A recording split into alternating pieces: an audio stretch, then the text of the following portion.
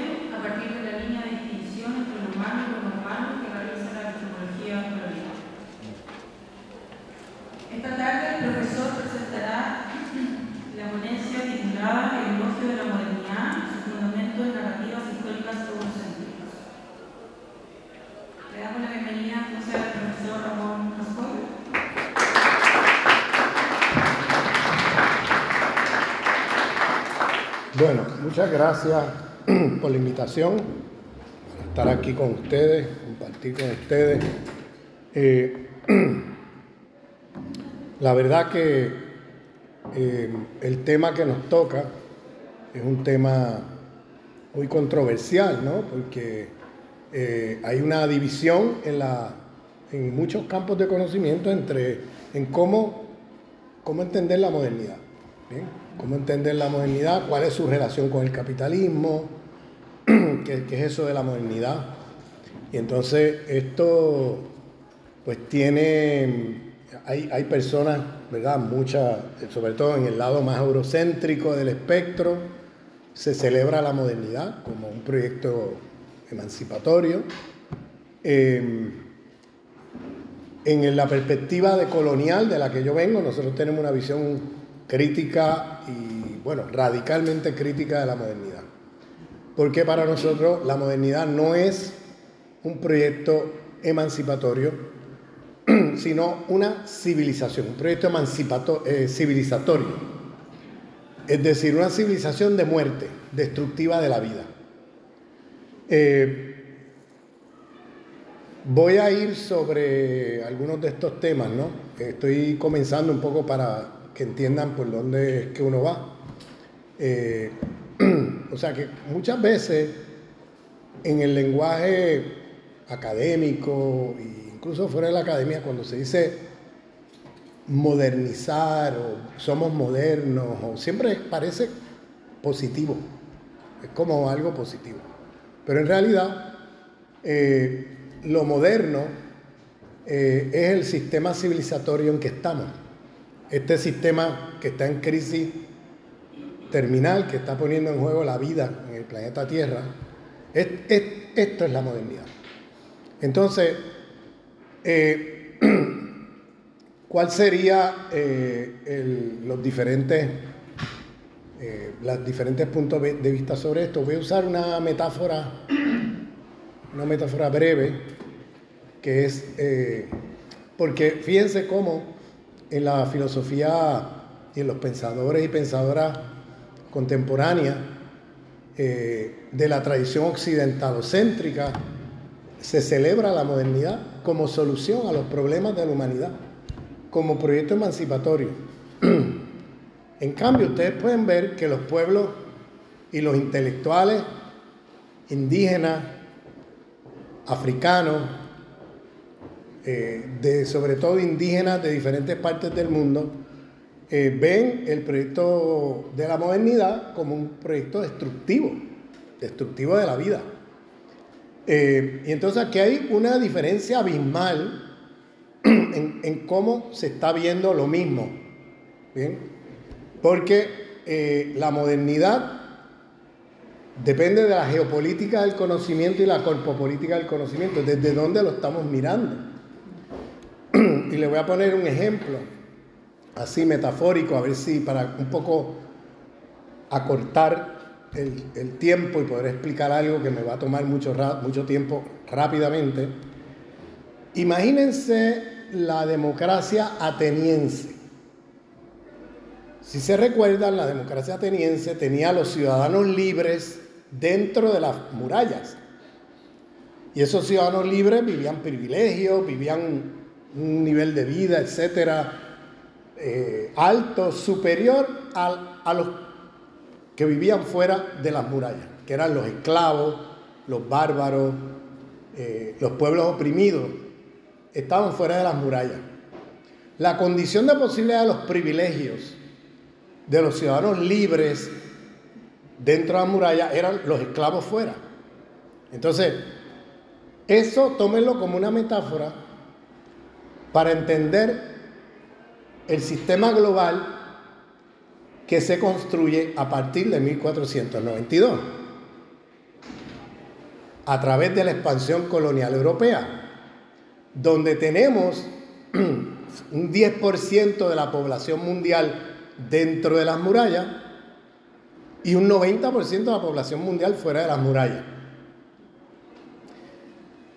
La expansión con la europea, como ustedes saben, es una expansión eh, civilizatoria, porque no fue solamente que se creó un nuevo sistema económico mundial, es que además eh, se, trajo todo un sistema civilizatorio, un paquete de relaciones de dominación que existía en Europa y que la exportaron a donde quiera que se metieron.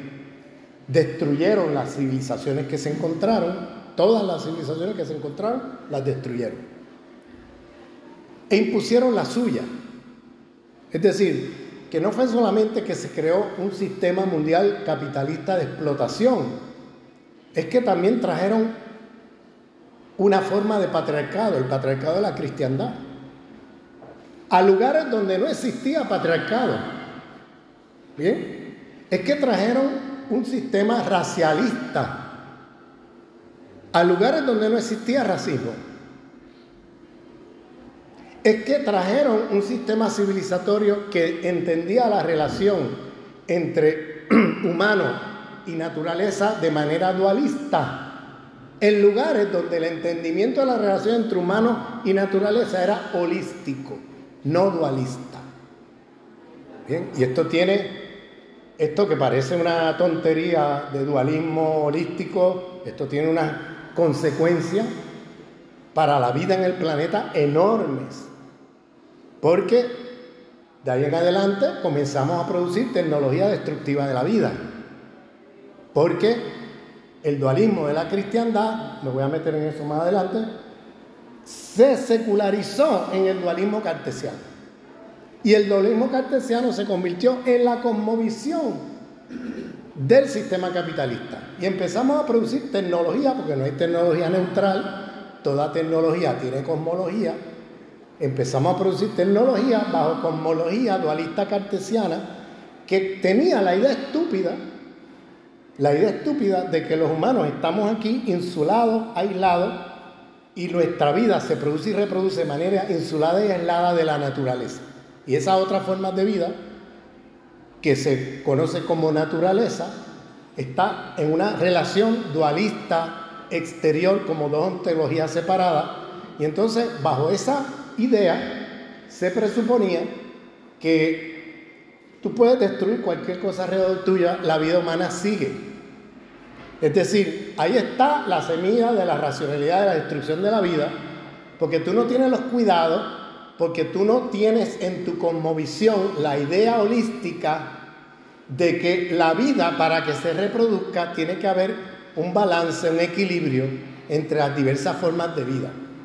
Y que por tanto cualquier tecnología que tú hagas para trabajar con la naturaleza tiene que ser mediada por, los cuidados que tienes que tener para no destruir lo que está alrededor tuyo, porque vas a destruir no solamente a ti mismo como ser humano, sino la vida. Entonces tenemos 400 años de sistema capitalista global que está produciendo tecnología bajo la racional, racionalidad dualista cartesiana, que concibe la vida humana como algo que se puede reproducir insuladamente de las otras formas de vida y por tanto produce tecnología sin pensar que si tú destruyes los árboles que tienes alrededor, tarde o temprano eso te va, te va a pasar la cuenta porque como ser humano nosotros somos naturaleza y como naturaleza nosotros nos reproducimos en un sistema ecológico de naturaleza que no estamos en el exterior ni dualistamente separados y que tiene que haber equilibrios ahí y balance para que la vida pueda continuar. Este sistema civilizatorio es el primero en el planeta Tierra que eh, que, concibe la relación entre humano y naturaleza de esa manera.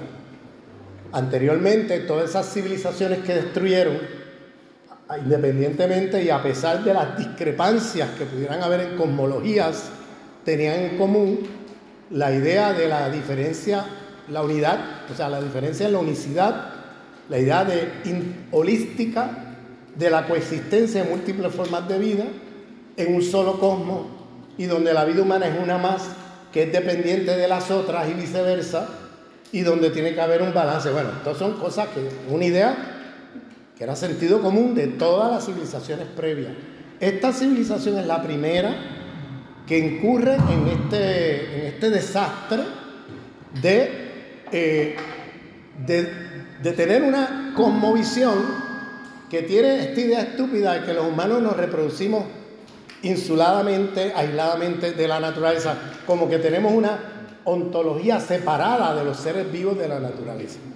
Eso es una secularización de la cristiandad, porque en la cristiandad se, asumía que la naturaleza estaba el diablo, Satán, y a través de la cristiandad, me refiero no al cristianismo, sino la cristiandad, el cristianismo trinitario que funda eh, Constantino en el siglo IV como teología de, dominación, como una teología de dominación imperial, que entonces empieza a clasificar todo lo que es naturaleza y todo lo que es diferente, incluye, incluyendo humanos que son diferentes, en el lado de la naturaleza, en el lado del demonio.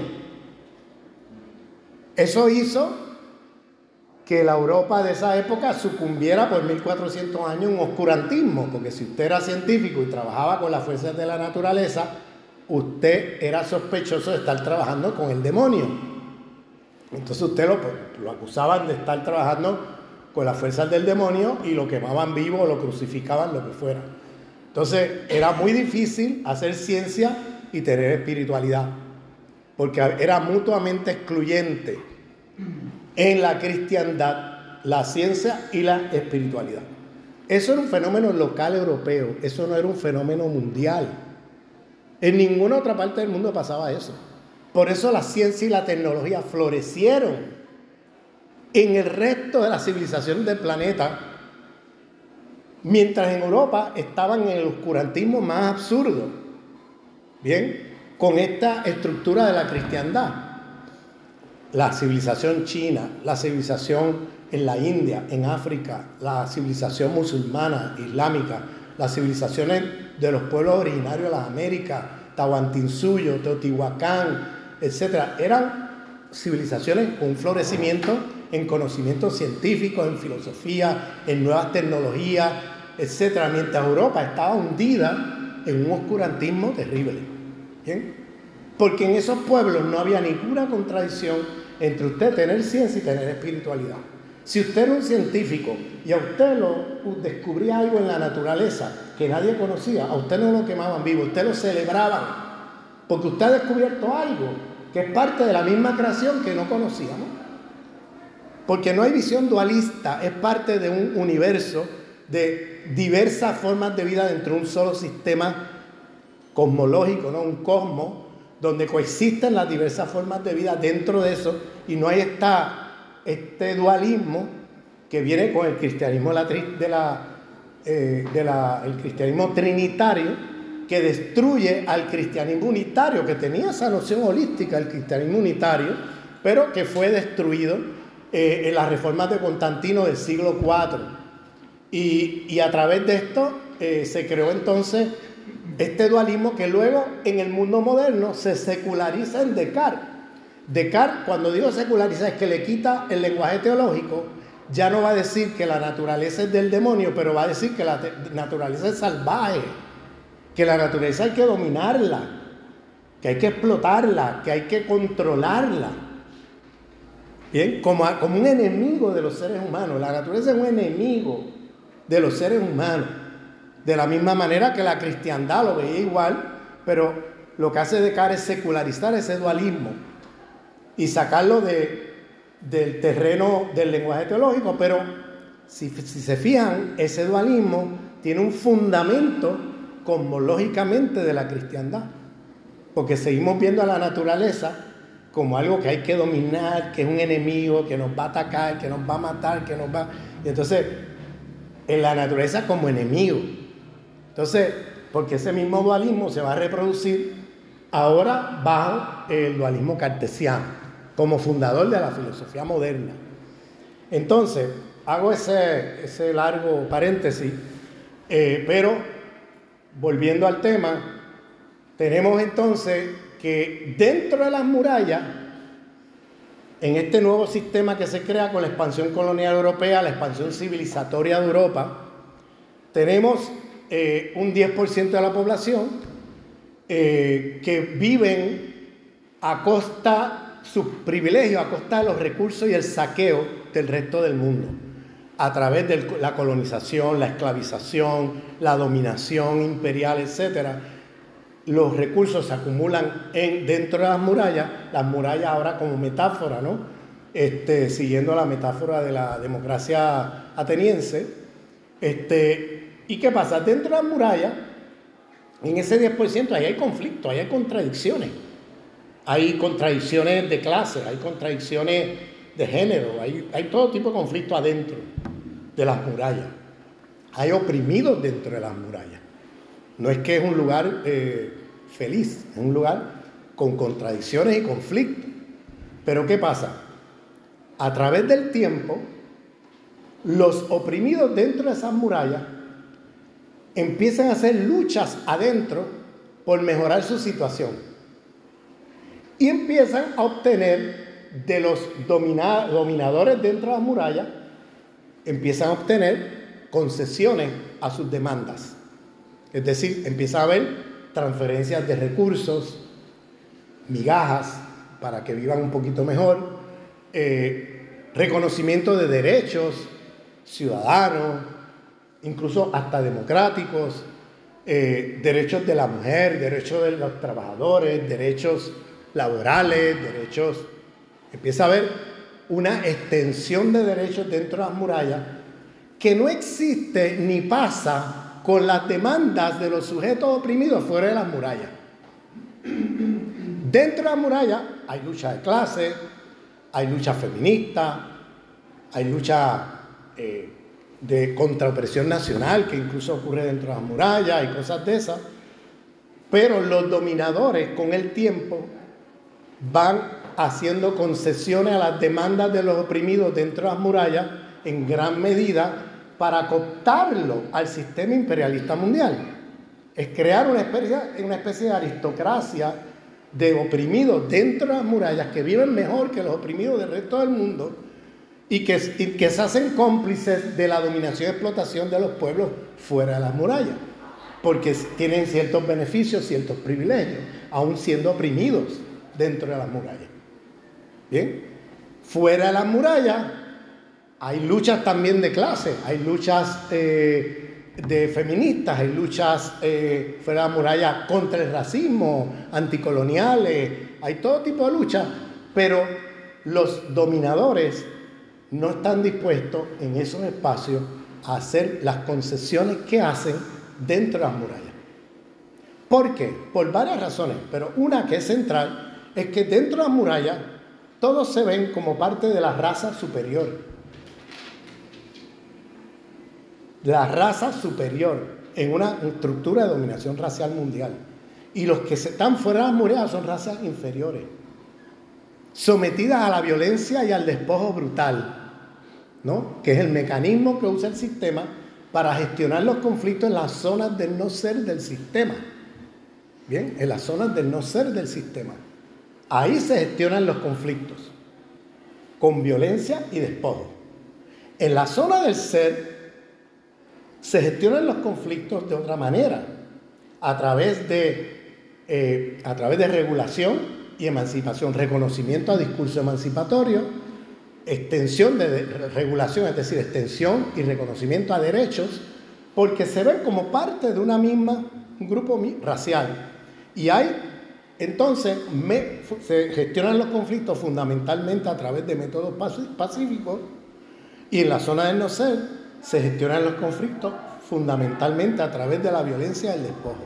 Aquí hay una diferencia abismal en cómo se viven los mismos problemas.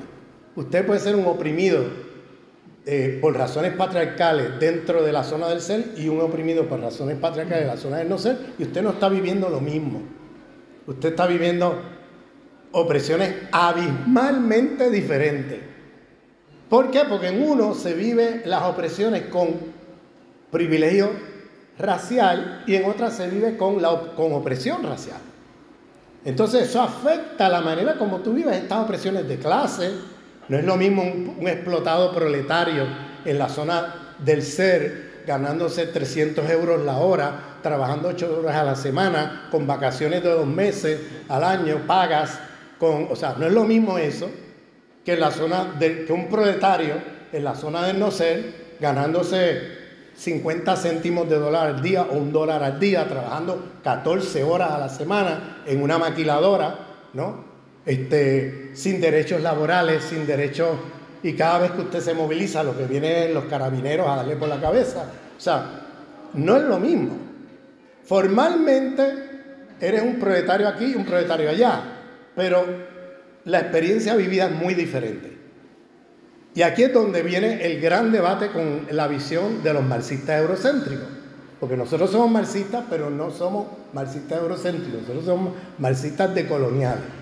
Entonces, el marxismo eurocéntrico hace un universal abstracto de todo. Entonces, tú eres una mujer oprimida en el sistema patriarcal, pues lo mismo, lo mismo en Nueva York que en, la, las Amazonas, que en, en Senegal, que es lo mismo. Tú eres formalmente una mujer oprimida en un sistema patriarcal. Tú eres un proletario, vende fuerza de trabajo, produce plusvalía que es apropiada por un capitalista, lo mismo en Seattle, en, Washington, en París o Londres, que en Haití o que en Bolivia o que en cualquier lugar. O sea, formaliza todo y hacen un universal abstracto y luego dice proletarios del mundo unidos. Y resulta que los proletarios de allá no se quieren unir a los de acá. Es más, no los quieren ni de vecinos. Y mucho menos cruzando la frontera. Los quieren fuera. ¿Bien? Entonces, ¿qué pasa ahí? Bueno, lo que pasa ahí, nuevamente, es que tenemos que aterrizar estas cosas en relación a la experiencia vivida en relación a unas jerarquías de dominación que pasan por la dominación racial y que organizan el sistema de una manera en la cual las opresiones, los oprimidos de la zona del ser viven sus opresiones mitigadas por la, el privilegio racial y los oprimidos en la zona del Nocer viven las opresiones agravadas por la opresión racial. Eso que parece abstracto tiene que ver con una cosa muy sencilla. En la zona del ser, las opresiones y los conflictos se gestionan pacíficamente por medio de regulación de, derechos o por medio de discurso emancipatorio, reconocimiento a que tú demandes igualdad, a que demandes este, eh, libertad, eh, etc. En cambio, en la zona del no ser, eso no se acepta que usted demande igualdad o que usted demande libertad o que usted demande derechos de autodeterminación de su pueblo o que usted demande eh, eh, mejores salarios o mejores condiciones. Eso no se acepta. Porque usted es un inferior racialmente y porque el sistema vive de la superexplotación del 90% de la humanidad. Este sistema en que estamos está organizado de esa manera. Y si empiezan a concederle altos salarios a los condenados de la tierra, el sistema colapsa. El sistema vive del saqueo, del saqueo que hacen en el 90% de la humanidad. Entonces eso está organizado con la idea de raza. Así es como justifican todo eso. Si tienen dudas de lo que estoy diciendo, miren lo que está pasando en Palestina. Ahora mismo mientras hablamos. ¿No? Hay unos gente que tiene derecho a defenderse y otros no. ¿No? Usted, lo está, usted está sometido a un genocidio y si usted se defiende, lo acusan de terrorista. Y a los genocidas, que son los que producen genocidio, a eso se le reconoce derecho a defenderse. Imagínense ustedes en la Alemania nazi, en el gueto de Varsovia, que los nazis decían que estos tipos eran unos terroristas y justificaban eh, acabar con ellos porque estaban usando violencia y era gente, cuando el gueto de Varsovia, los nazis controlaban el agua, la electricidad, este, controlaban quién entraba, quién salía, qué se, cuánto se comía, cuántos los alimentos, todo. Entonces, de momento son atacados los nazis y los nazis dicen, tengo el derecho a defenderme. Pero los otros que intentan defenderse, no, tú no tienes derecho a defenderse porque tú eres un terrorista. ¿Te fijas, ¿Te fijas lo que estamos hablando? Un genocidio, ¿bien? En la ley internacional, después del nazismo, se reconoce, se reconoce en la ley internacional que el derecho a la defensa solamente a los pueblos colonizados y sometidos a genocidio, solamente en el derecho internacional. No se reconoce derecho a la defensa a los genocidas ni a los colonizadores. Eso no está reconocido en la ley internacional. Y eso viene de la historia del nazismo. A partir de esa historia es que se construyó esa ley internacional. Y ahora el mundo al revés. Ahora los genocidas son los que tienen derecho a defenderse. Y los que viven genocidio, los que los están exterminando, no se pueden defender, pues los acusan de terroristas. Eso tiene que ver con esto de la zona del ser y no ser. Esto que estamos discutiendo. En la zona del ser se reconocen derechos. En la zona del no ser no se reconoce derecho a nadie ni a nada. Porque ustedes no son humanos, ustedes son animales. Ustedes han visto esto.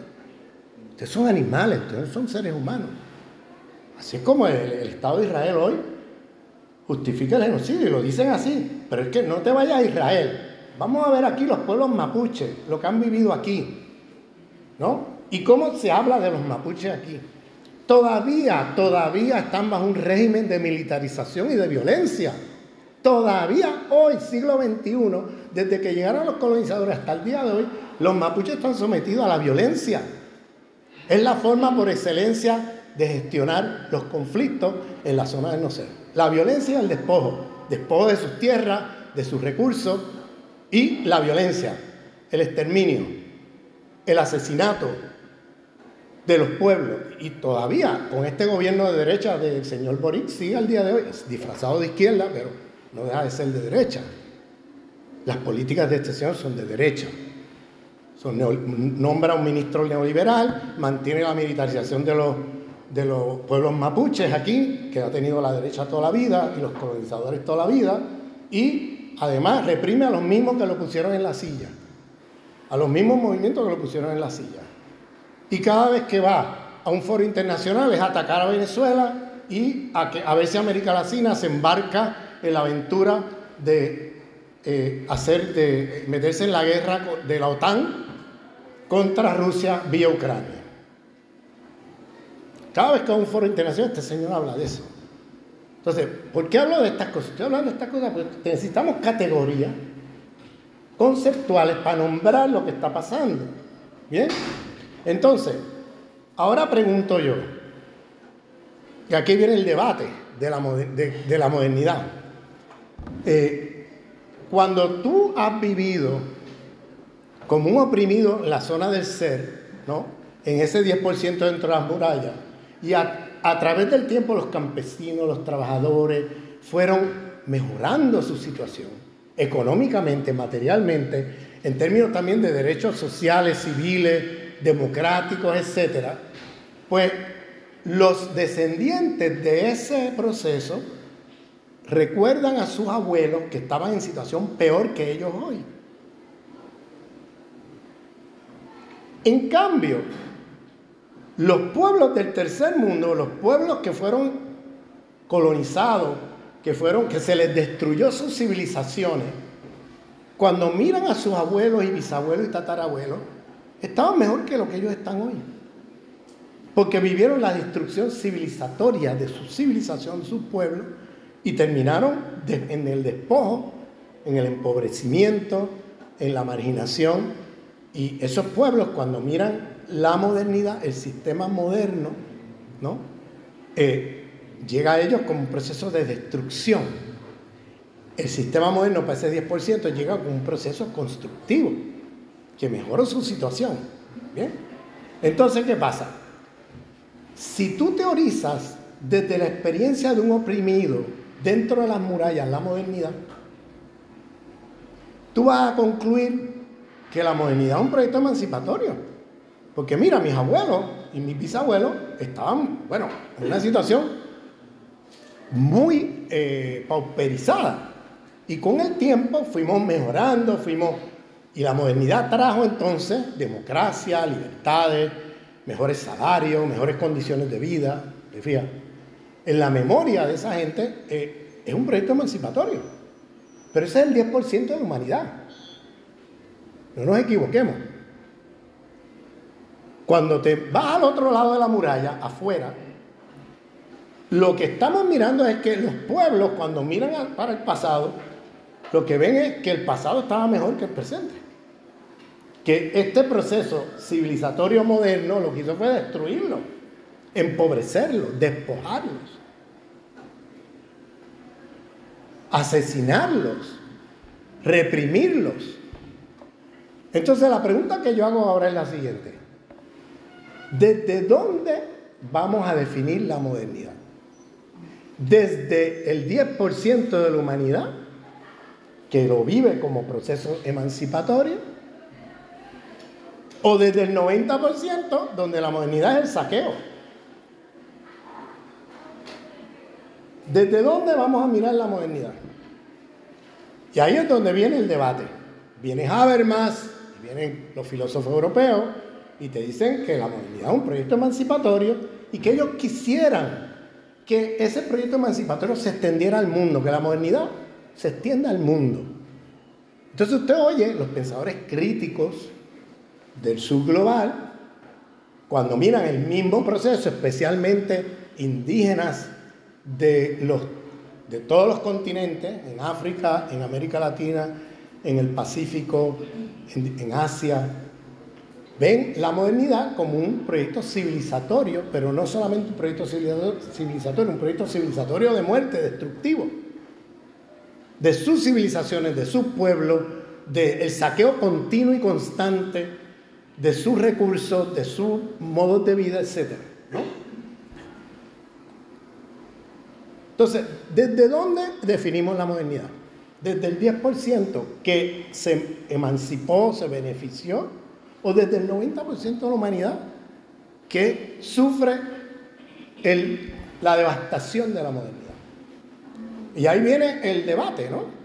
Desde una perspectiva descolonizadora, nosotros entendemos que ese proceso de emancipación del 10% es un proceso falso, porque si tú te has emancipado a través de saquear al 90% de la humanidad, pues eso no es ninguna emancipación, eso es dominación explotación descarada. Que luego tú la celebres y la adornes y la mitologices y digas que esto es lo mejor del mundo, eso es otra cosa, ¿verdad? Pero en realidad, eso que tú llamas lo mejor del mundo es lo peor del mundo para la mayoría de la humanidad. Entonces no puedes celebrarla como proyecto emancipatorio. Entonces, desde el punto de vista decolonial, nosotros tomamos partido con la visión crítica de la modernidad que se hace desde la periferia, desde el sur global, desde los pueblos que, vivieron la devastación del proyecto moderno colonial, ¿bien? Que, que no tiene nada que celebrarse, sino que es la lucha continua por sobrevivir y por echar para adelante. Entonces, eh,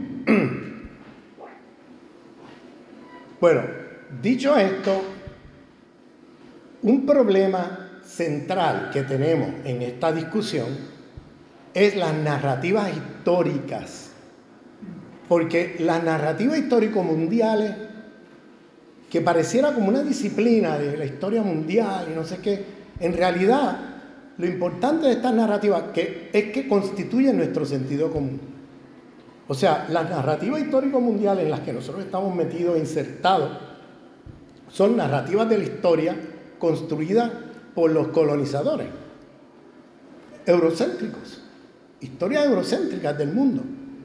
Entonces nos narran una película de la historia que la hemos absorbido a tal punto que ya es sentido común, que ya tú hablas con alguien por la calle y no te, no te va a narrar ninguna narrativa histórico mundial, pero te va a decir que eh, vivimos bajo un mundo de progreso, que vamos a, estamos cada día mejor comparado con el pasado, que, este, que, el mundo moderno ha traído ciencia, tecnología, que el mundo moderno ha traído, ha, ha puesto un hombre en la luna, que el mundo moderno, o sea, y va a ser un discurso celebratorio de la modernidad. Eso es lo que vamos a oír, aunque la persona te diga, bueno, pero ¿cuál es tu narrativa histórica? Muchas veces no te pueden ni contar la narrativa histórica, pero está metida allí ya en el inconsciente. Está metida ahí ya en el inconsciente esa narrativa histórica de que el mundo europeo es mejor que cualquier otro mundo. Y la modernidad nos pone, nos ha colonizado hasta la temporalidad, nos hace creer que todo pasado es peor que todo presente y que todo futuro es mejor que todo presente y todo pasado. Que hay una, idea lineal de la historia donde vamos hacia lo mejor, vamos de lo peor a lo mejor. Esa es una, idea lineal de la historia. Bien, esa, esa idea es una idea totalmente eurocéntrica, ¿no? Porque eso, quien vivió eso fueron los, los occidentales. El mundo no occidental vivió la devastación. Fuimos de, de mejor a peor. Entonces no podemos comprar esa narrativa y esa visión lineal de la historia. La historia va, se mueve de otra manera en otros lugares, hay diferentes temporalidades y esa temporalidad que el mundo occidental nos vende es falsa. Es una temporalidad falsa, que no es aplicable, porque te la venden como historia universal pues eso será provincial, es el provincialismo disfrazado universal, porque en Europa, si bien es cierto que salieron de la aldea marginal del mundo y empobrecida a ser un lugar de, acumulación de riqueza, este, el resto del mundo vivió otra cosa. Bien, lo opuesto, de tener civilizaciones esplendorosas a, ser hoy eh, sujetos totalmente marginales, empobrecidos, pauperizados, inferiorizados racialmente, humillados. Entonces estamos hablando de historias y temporalidades bien diferentes, de memorias diferentes. Entonces, aquí viene eh, varios problemas. Y necesitamos entonces una historia mundial crítica de esas narrativas eurocéntricas para poder tener sentidos comunes que sean decolonizadores de esa historia apabullante que nos han impuesto y que aprendemos en las escuelas,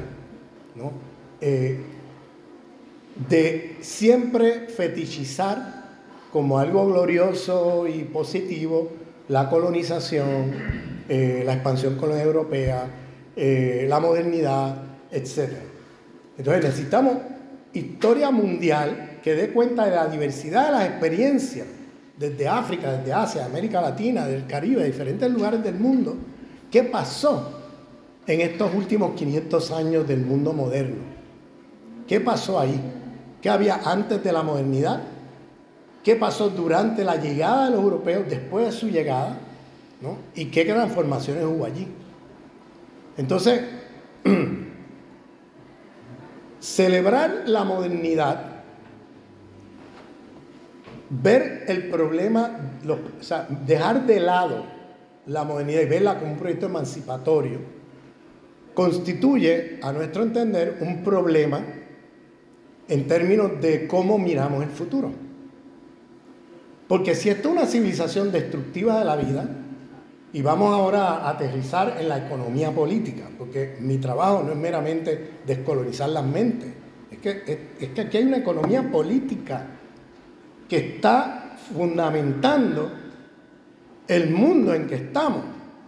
Y tiene que ver con una división internacional del trabajo capitalista que tiene varios siglos de existencia, que va, hay transformaciones de la misma a través del tiempo, pero que no, no hemos descolonizado eso.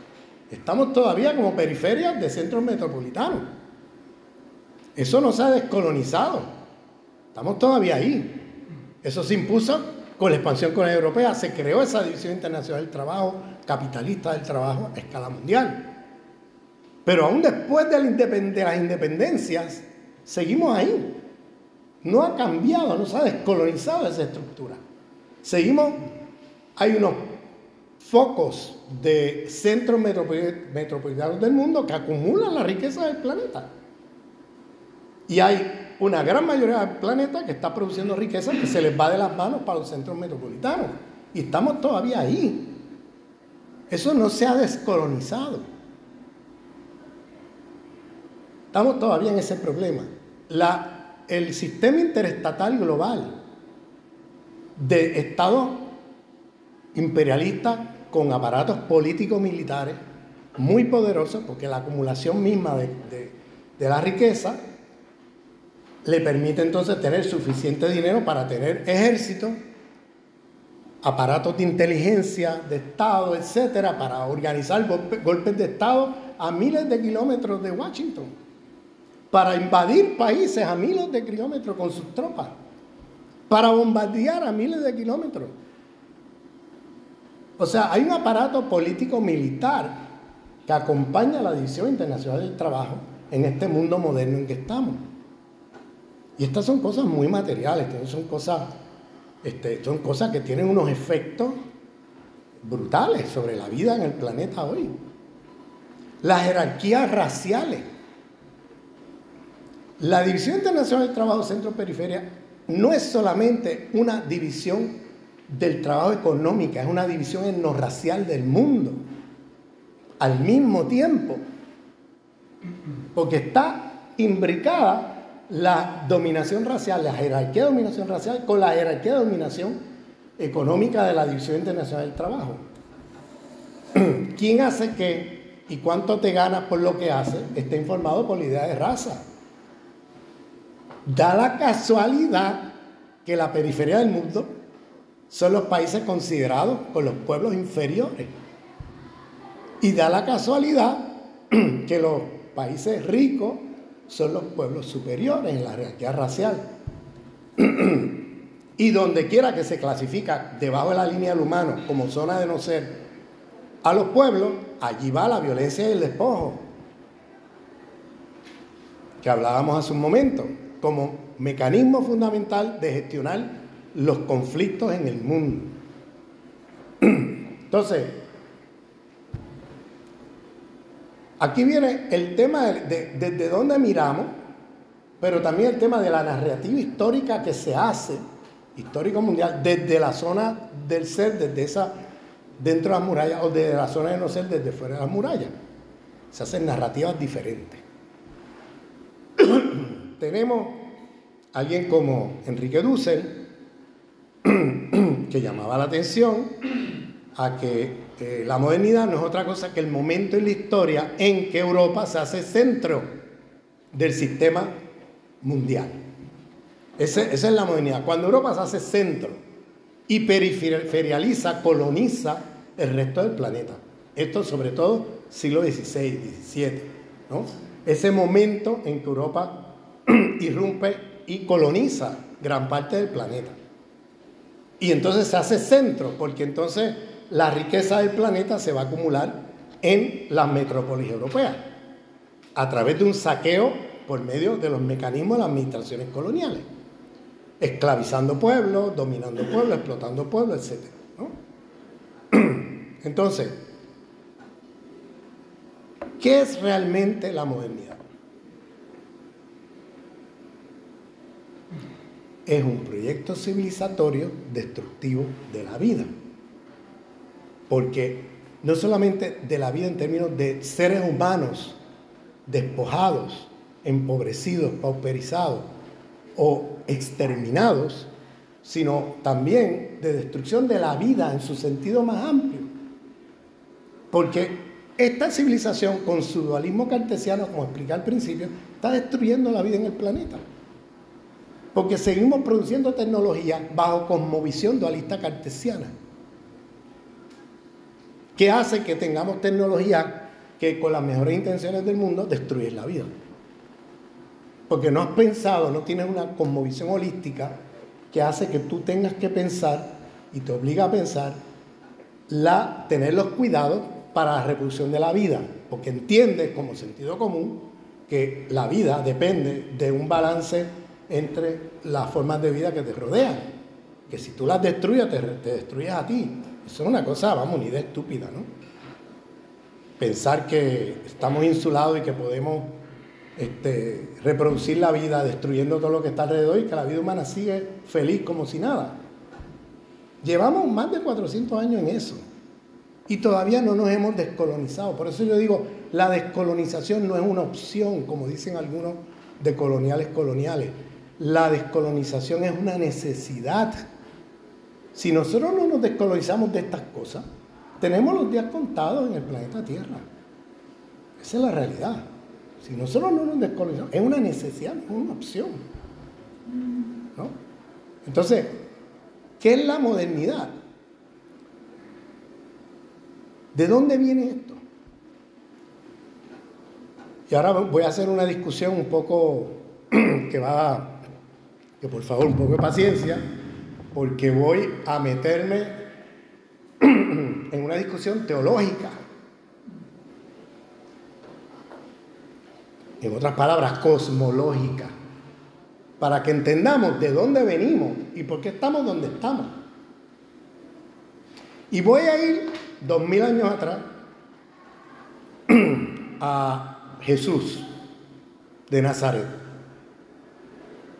Jesús de Nazaret tenía una visión, Jesús el palestino, ¿no? el de Nazaret, el palestino. Jesús de Nazaret tenía,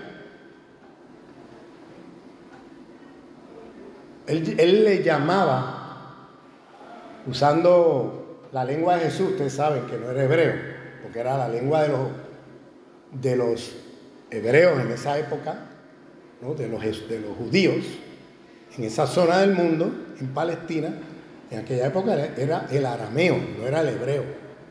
Bien, el hebreo es una, una lengua mucho más antigua, que ya prácticamente estaba desaparecida, y que en esa zona ahora se hablaba arameo, que es una lengua semita.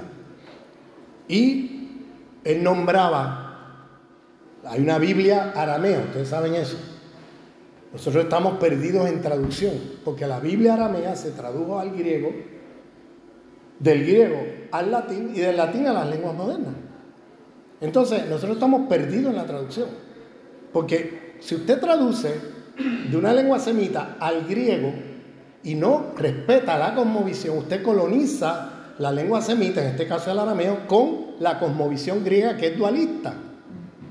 La cosmovisión griega es dualista, la cosmovisión semita holística. Entonces hay un primer momento de transformación de lo que fue el cristianismo originario o lo que fue el mensaje de Jesús, porque no era cristiano. Él nunca se pensó como cristiano. Moisés nunca se pensó como judío. Jesús tampoco se pensó como cristiano. Bien, esto, esto, son cosas que pasan después. Bien, esto de las religiones es una construcción posterior, siglos después. No, no, ocurre allí, en el momento en que están estos profetas ahí en acción.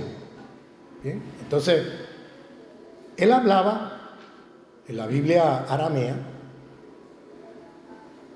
de alhaja. Ese era el término, alhaja. Alhaja era el término del ser divino, ¿no? Pero alhaja es un concepto, es una cosmovisión. No es, yo no quiero traducir alhaja como Dios.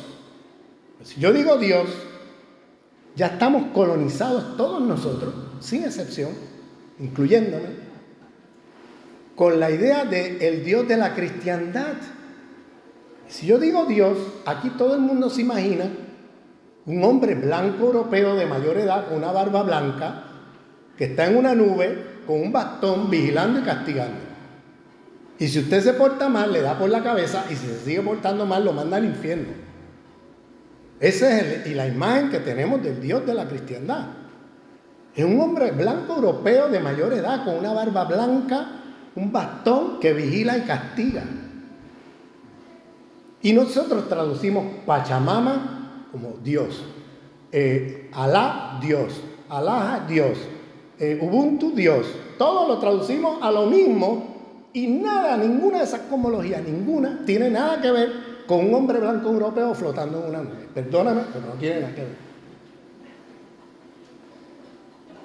Estamos colonizando las otras cosmovisiones con nuestro sentido común occidentalocéntrico, eurocéntrico, cristianocéntrico. Pues le proyectamos a sus cosmovisiones nuestras categorías y nuestras tonterías, ¿bien? Porque eso, es un fetichismo, ese es un fetiche increíble, es idolatría total.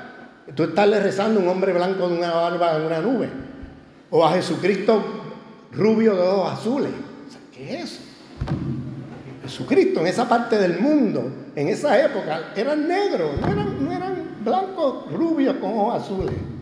Esos son inventos de la modernidad, de los racismos de la modernidad. Pero ¿qué pasa? Alá, ¿qué significa esto? Esto tiene una consecuencia política impresionante. Porque Alá, miren, yo lo traduzco de la siguiente manera. Una fuerza cósmica divina, creadora de vida con inteligencia. Yo prefiero usar una frase larga así para dar el sentido, respetar la cosmovisión y no ponerlo a, este hombre anciano de la barba en una nube. O sea, por favor. Es, ellos están hablando, esas cosmovisiones, están hablando de una fuerza divina creadora de vida con inteligencia. Porque todo lo que tenemos alrededor, en esas cosmovisiones, es parte de una creación. ¿Bien? Y con inteligencia, porque cuando usted mira cada cosa, desde una partícula eh, microbiológica hasta las estructuras del universo, es como si hubiera un ingeniero que la estuviera, lo hubiera fabricado. Porque tiene unas estructuras, tiene una, entonces, pareciera que eso hubiera, hubiera sido fabricado. Por eso digo, con inteligencia. Una fuerza divina creadora de vida con inteligencia. ¿Bien? Por eso es que, por ejemplo, en algunas de las espiritualidades no se representa con nada a esa fuerza. Porque en el momento que la representa con algo, ya empieza la idolatría. Si pones allí un hombre con una barba en una nube europeo, si pones allí un hombre, eh, qué sé yo, de, África, eh, o si pones allí un árbol o una piedra, o sea, ya está, ya está sacando el sentido de lo que significan esas cosmovisiones. Porque cae en la idolatría, está reemplazando lo que es esa fuerza divina con algo terrestre. Entonces, ¿qué pasa? Todos esos profetas cayeron en conflictos políticos con los faraones, con los emperadores, con los reyes. ¿Por qué? Porque bajo esa noción de alhaja, todos somos sagrados con letra minúscula. Nadie es sagrado con letra mayúscula. Nadie es esa fuerza creadora de vida con inteligencia, nadie. Entonces, ahí vienen los problemas políticos.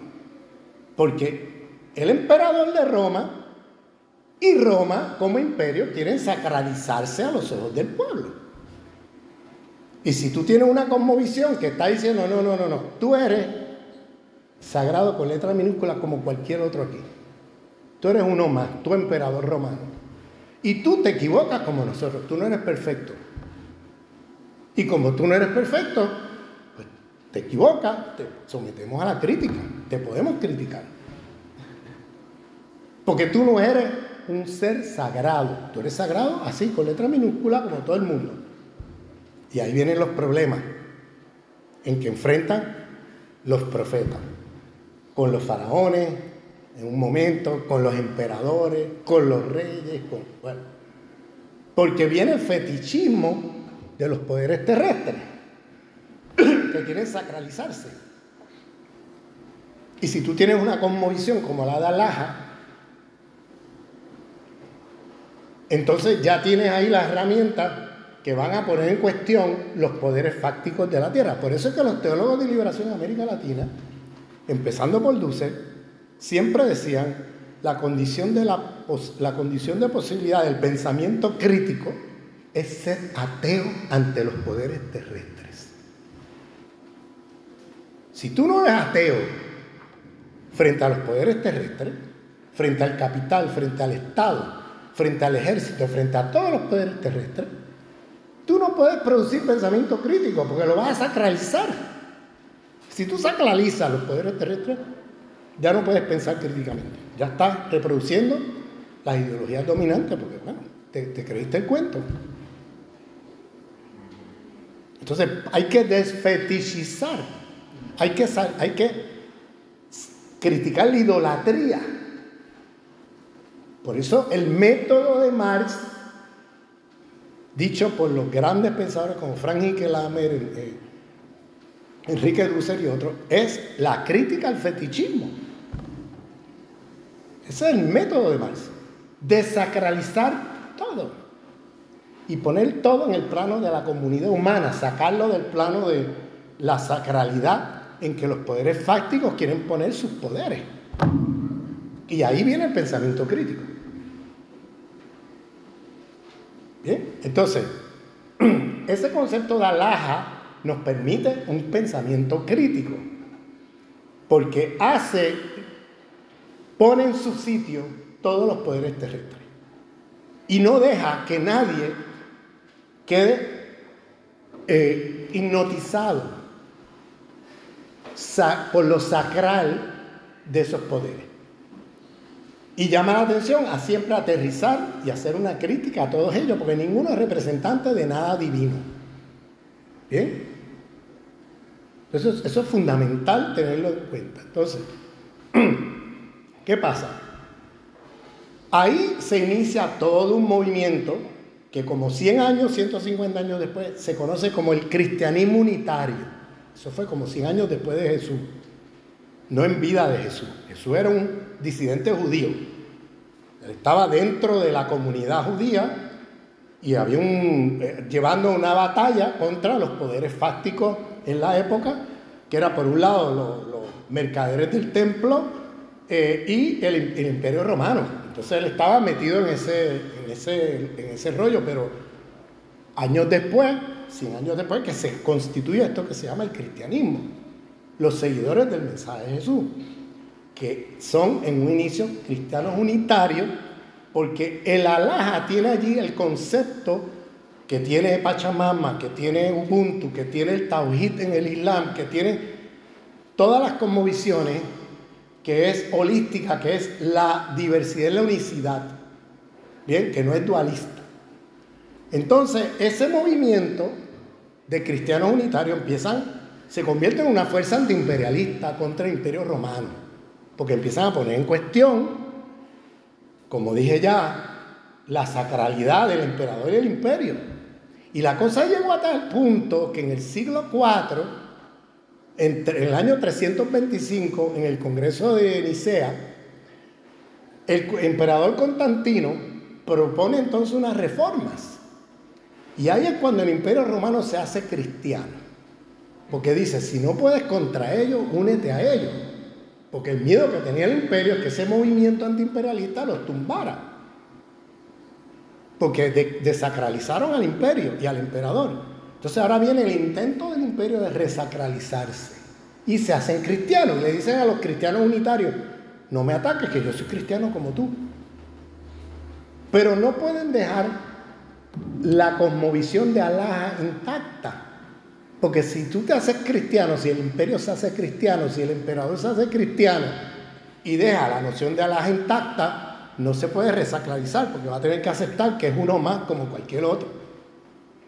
No se puede poner en el lugar de, de sagrado con la letra mayúscula, de ser representante de esa fuerza creadora de vida con inteligencia.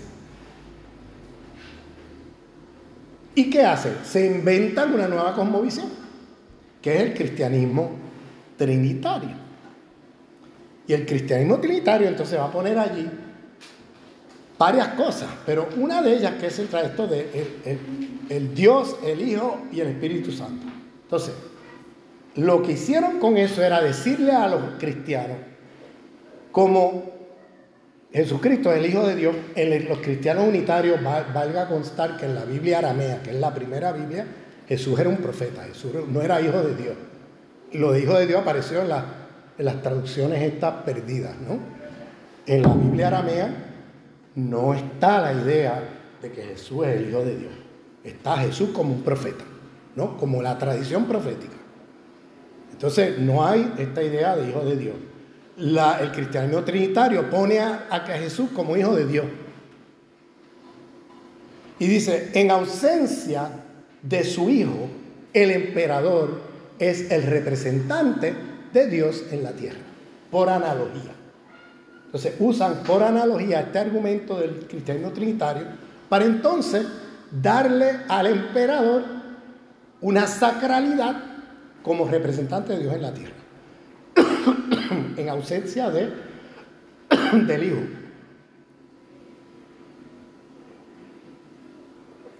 Entonces,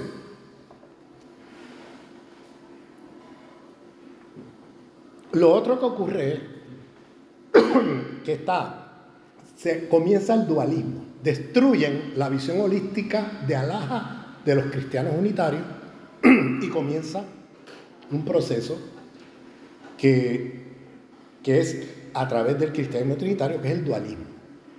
En el sentido siguiente, están el emperador, el imperio, su séquito y los allegados, que son los seres divinos, los seres que están del lado de los buenos, del lado de Dios, y los diferentes, la naturaleza, y todo el que no entre dentro, los críticos del imperio, todos los que sean diferentes, en el lado de la naturaleza, que pertenece a quien, a Satán.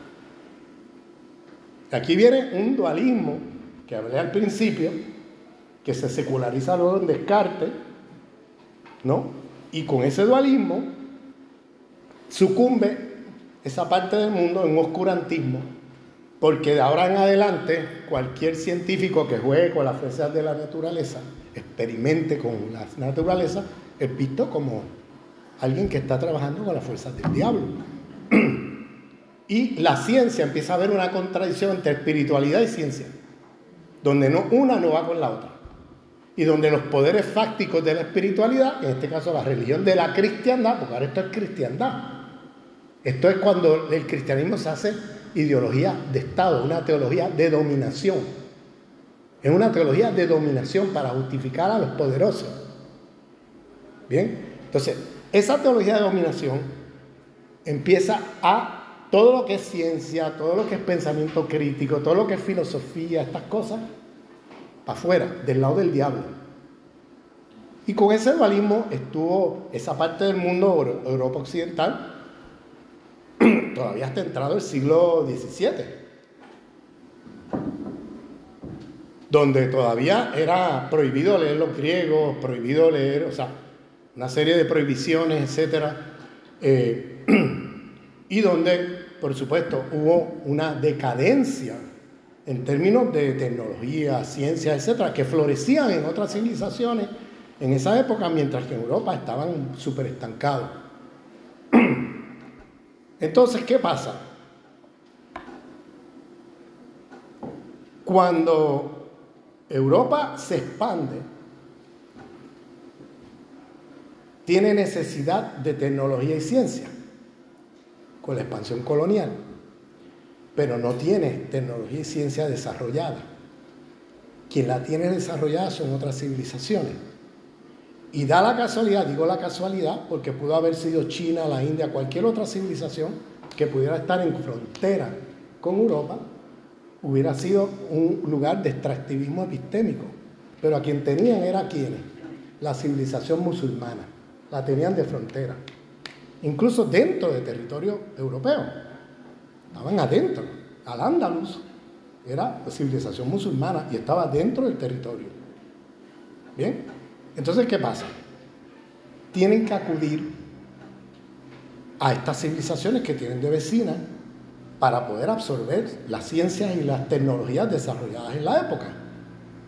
Y incurren en lo que vamos a llamar el extractivismo epistémico, que es el extractivismo, ¿no?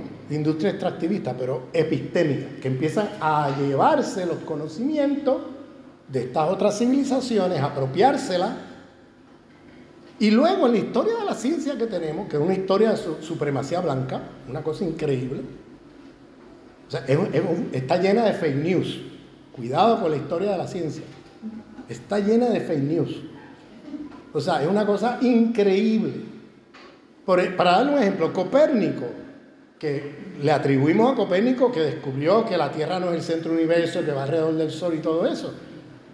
Eso Copérnico se lo plagió de la escuela de Damasco de la civilización musulmana que 300 años antes habían hecho el descubrimiento y la demostración matemática, los diagramas, exactamente como los de Copérnico. Y digo más, en, en las fórmulas matemáticas que hicieron, Copérnico comete errores que no están en los originales.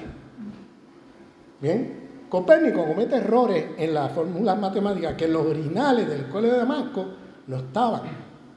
Pero celebramos a, Copérnico, el hombre blanco occidental, que es el que descubrió esto. Pero lo hacemos con... No me voy a meter ahí, puede estar dos horas uno cogiendo uno por uno, porque la verdad que todo, o sea, toda esa, esa historia de la ciencia, sobre todo esa parte temprana de la modernidad, es llena de extractivismo epistémico y de fake news, de gente que plagió a, los científicos de la civilización musulmana y que se apropiaron de eso que luego los reciclaron como si fuera de ellos. Y la historia de la ciencia nos, nos cuenta así. Pero si tú conoces un poquito de la, de la historia de la civilización musulmana, inmediatamente te das cuenta y te ríes porque identifica los científicos que descubrieron todas esas cosas que se le atribuye a un hombre blanco occidental. Que eso tiene que ver también con el, ascenso ahora en el mundo moderno de una ideología racista que va a decir que los occidentales son superiores y para poder decir eso no pueden tener deuda con nadie. Imagínate si dijeran, hemos aprendido todo esto de los científicos musulmanes. Entonces se te cae el cuento de que tú eres la raza superior. Entonces tenían que inventarse una historia ahí, fake news, para poder justificar este, esta narrativa de la superioridad de Occidente sobre el mundo no occidental. Entonces, ¿qué pasa? La modernidad no es otra cosa que la secularización de las narrativas de la cristiandad. Bien, pues mira, lo que pasó al principio fue lo siguiente: agarraron la ciencia, se la plagiaron del mundo musulmán, borraron la historia de donde sacaron sus ideas, la borraron. La reciclaron como si hubiera sido fulano, sultano, hombres occidentales, un británico, un italiano, un alemán la, imprenta de, ¿cómo se llama? Gutenberg. O sea, ese es otro cuento de hadas, increíble. O sea, los, los chinos inventaron la imprenta en el siglo II o III. O sea, y tenían ya papel moneda. O sea, y nos hacen el cuento que este hombre en el siglo XVI inventó la imprenta. perdóname, o sea, esto está inventado mucho más de mil años antes que... Y nos, y nos hacen el cuento que eso es un invento. O sea, el papel moneda, Europa llegó al papel moneda en el siglo XIX. Los chinos ya estaban con papel moneda más de mil años antes. O sea, hay un montón de cuentos de hadas que nos han hecho que hace que entonces, cuando viene la Revolución Francesa, igualdad, libertad, fraternidad, nos creamos bajo una historia mundial narrada eurocéntrica, supremacista blanca, pues viene la Revolución Francesa y ahora nos creemos que la idea de libertad, democracia y todo eso viene de los europeos. Que la modernidad y todo el, discurso eh, libertario, democrático, derechos, que todo eso viene de los ilustrados del siglo XVIII en Francia, Alemania y Gran Bretaña. Cuando la idea de libertad, la idea de igualdad, todas estas ideas estaban, pero miles de años antes desarrolladas en, diversas civilizaciones. No son ideas originales de Europa ni de la modernidad. Y había civilizaciones que ya tenían allí estas ideas puestas allí como parte de derechos reconocidos, como parte de... Este, no había incompatibilidad entre espiritualidad y ciencia, no había incompatibilidad entre espiritualidad y pensamiento crítico, no había... Y sin embargo, si tú te tragas la narración histórica eurocéntrica que te hace ver que Europa es el epítome, el clímax de un proceso civilizatorio superior al resto del mundo y que todos los demás son inferiores, ¿no? Y que los demás pueblos no tienen historia, como diría Hegel, ¿no? Que en África no había historia, que los pueblos indígenas de América están fuera de la historia. Este, tú te tragas todo eso, pues tú vas a terminar desarmado ante la situación del mundo de hoy. Porque vas a creerte, y este es un debate que yo tengo con algunos amigos de la literatura de colonia que siguen viendo en la modernidad un lado emancipatorio que, que aportó la modernidad. La, modernidad no ha aportado emancipación, excepto para ese 10% que se benefició del saqueo. La modernidad lo que trajo fue la devastación para la gran parte de la, población del, planeta. Y además, las ideas que le atribuimos a la modernidad como si fuera natural e inherentemente moderna, la idea de individuo, libertad, la idea de democracia, toda esta idea, como si fueran modernas, es una falacia de las narrativas y los fake news de la historia eurocéntrica. Porque ya habían formas de democracia en todas las civilizaciones previas. Formas de democracias comunales que ya existían en civilizaciones previas, antes de la modernidad. La idea de libertad no se la inventó eh, el mundo moderno ni los ilustrados del siglo XVIII, son ideas que ya estaban allí desarrolladas por filósofos en la China, en el mundo musulmán, en el mundo de la India, en los mundos. Tú vas alrededor del mundo y tú vas a ver filósofos defendiendo la idea de libertad, la idea de esta igualdad, la idea de, o sea, toda una serie de ideas, es más, de una manera hasta más sofisticada. Esto lo aprendí yo de las feministas islámicas, lo que voy a decir ahora.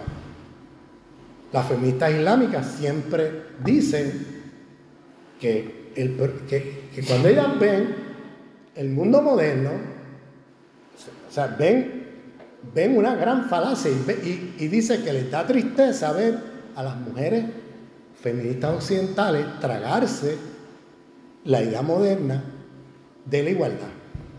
Porque el problema es el siguiente. Ellas me lo aclararon, pero así. El problema del mundo moderno es que agarran la idea de igualdad, que es una idea que está ahí ya en otras civilizaciones, se la apropian y la transforman en un universal abstracto. ¿Se acuerdan que al principio hablamos de los universales abstractos? Un universal abstracto que no aterriza en nada, se queda ahí en una cosa abstracta. ¿Bien? Número uno.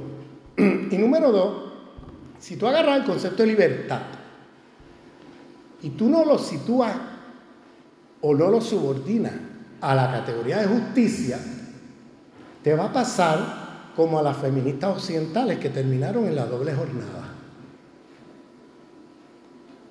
Porque el problema, el problema no es la igualdad, el problema es la justicia. En otras palabras, tú puedes tener relaciones de igualdad injustas. Tú puedes tener relaciones de igualdad justas. Tú puedes tener relaciones de desigualdad injustas y relaciones de desigualdad justas. Entonces, ¿cuál va a ser el criterio ahí? El criterio no puede ser la igualdad, porque puedes tener relaciones de igualdad injustas y puedes tener relaciones de desigualdad justas. Entonces, no puede ser la igualdad, es la justicia. Ese es el criterio. Poner y subordinar el concepto, sí, la igualdad, pero subordinado a la justicia. No podemos absolutizar la igualdad como hace la modernidad occidental. Porque termina lo que le pasa a las mujeres en Occidente, la feminista, termina en la doble jornada. ¿Saben lo que estoy hablando de la doble jornada, no? No. ¿No saben lo que es la doble jornada? Que además de, de estar a cargo de tus hijos, ahora encima de eso estás trabajando 8 y 10 horas para, o sea, estás en la doble jornada. Entonces dice, quisiste llegar a la igualdad absoluta, a la igualdad y terminaste en una situación muy injusta. Porque el tema no es la igualdad, el tema es la justicia. Eso lo aprendí yo de la feminista islámica. ¿Por qué? Porque en el Corán hay un concepto de igualdad radical, pero el concepto central del Corán es la justicia. Entonces, por tanto, la igualdad siempre se subordina a la justicia. ¿Qué pasa en el mundo de la modernidad occidental? se agarra la idea de igualdad, se absolutiza y se pone como el centro de la cosa. Y dejas de lado la justicia. Y te crees que haciendo igualdad hace justicia. No, cuidado. Porque tú puedes tener relaciones de igualdad muy injustas, como esas de la doble jornada. ¿Te fijas lo que estamos aquí? Entonces tenemos que descolonizarnos de esa matriz capitalista moderno occidental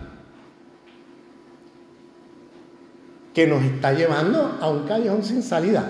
Primero, porque está destruyendo la vida. Y segundo, porque cuando empezamos a luchar contra ese sistema, nos ha colonizado ya con categorías y conceptos que no nos llevan a ningún sitio. Porque estamos hasta desarmados para luchar y combatirlo, porque estamos atravesados por las propias lógicas de dominación de esa modernidad.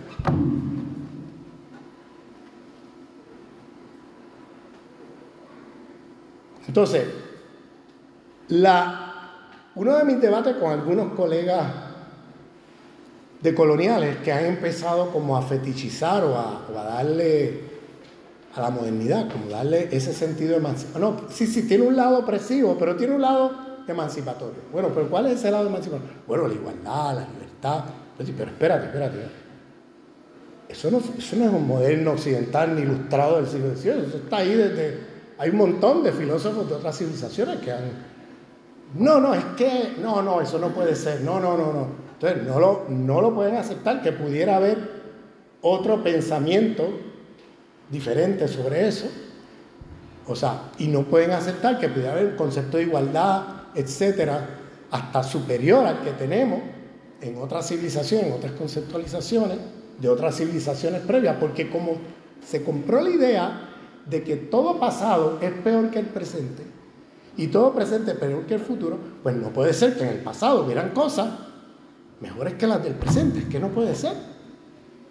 ¿Te fijas cómo constituye nuestro sentido común? Entonces ponemos en el lado de los primitivos y los subdesarrollados a los pueblos que se han desarrollado, por ejemplo, pensamiento crítico sobre la Pachamama sobre el problema ecológico que estamos enfrentando, que son los pueblos originarios de nuestro continente, que han producido teorías sobre eso, que han producido conceptos para nosotros entender eso.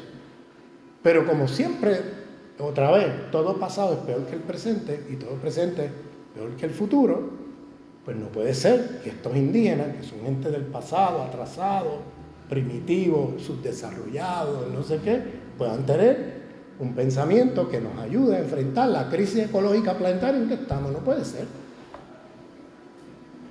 ¿Te fijas? Cómo nos colonizan hasta la idea de tiempo.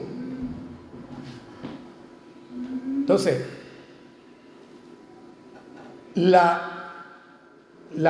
en el fondo, lo que está detrás de todo esto, o por debajo de la modernidad, es la teología de dominación de la cristiandad. Porque lo que tenemos es la secularización de las narrativas de la cristiandad en el mundo moderno, como expliqué con el ejemplo de Descartes.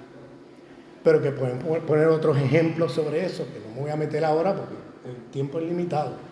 Pero hay otros ejemplos. Por ejemplo, esta idea que acabo de decir del tiempo, de que todo pasado es peor y todo que el presente o el futuro, tiene que ver con la, la visión lineal de la historia que hay en la noción de la cristiandad, de que vamos siempre hacia algo mejor y de que vamos a salvarnos y siempre todo va linealmente hacia algo mejor, ¿no?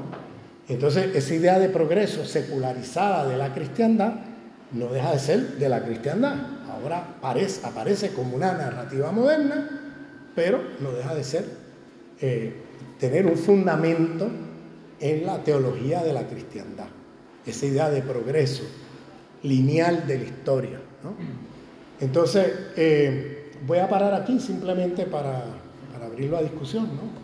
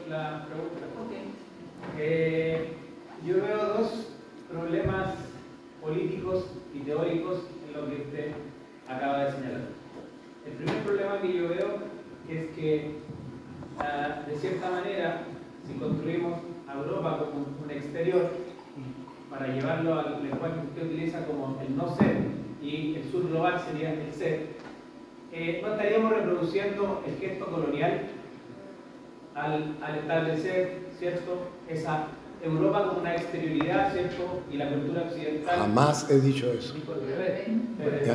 Yo nunca he dicho de que, de que Europa es exterior o de que es el no ser.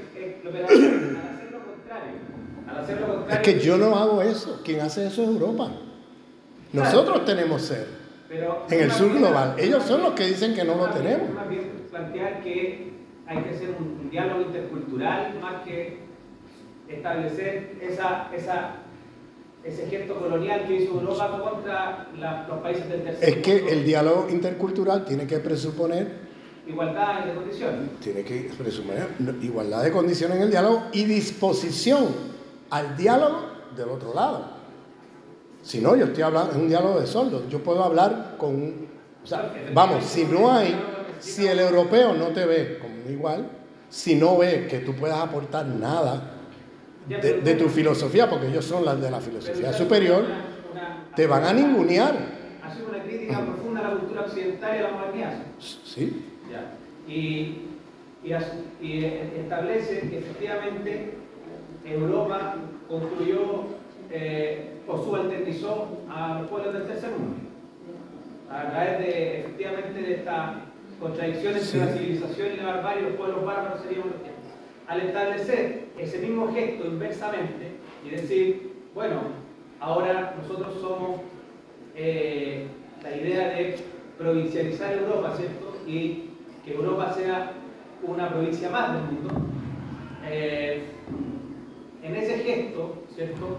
De establecer que Europa es, eh, por así llamarlo, ah, el, el, pensamiento, el problema, no, no, habría la, posibilidad de, de, entablar ese diálogo de igualdad de, de condiciones intercultural. Eso es un problema que, que, yo veo. Y el segundo que yo veo es que si renunciamos a la modernidad, como lo hicieron los fascistas en su momento, ¿cierto?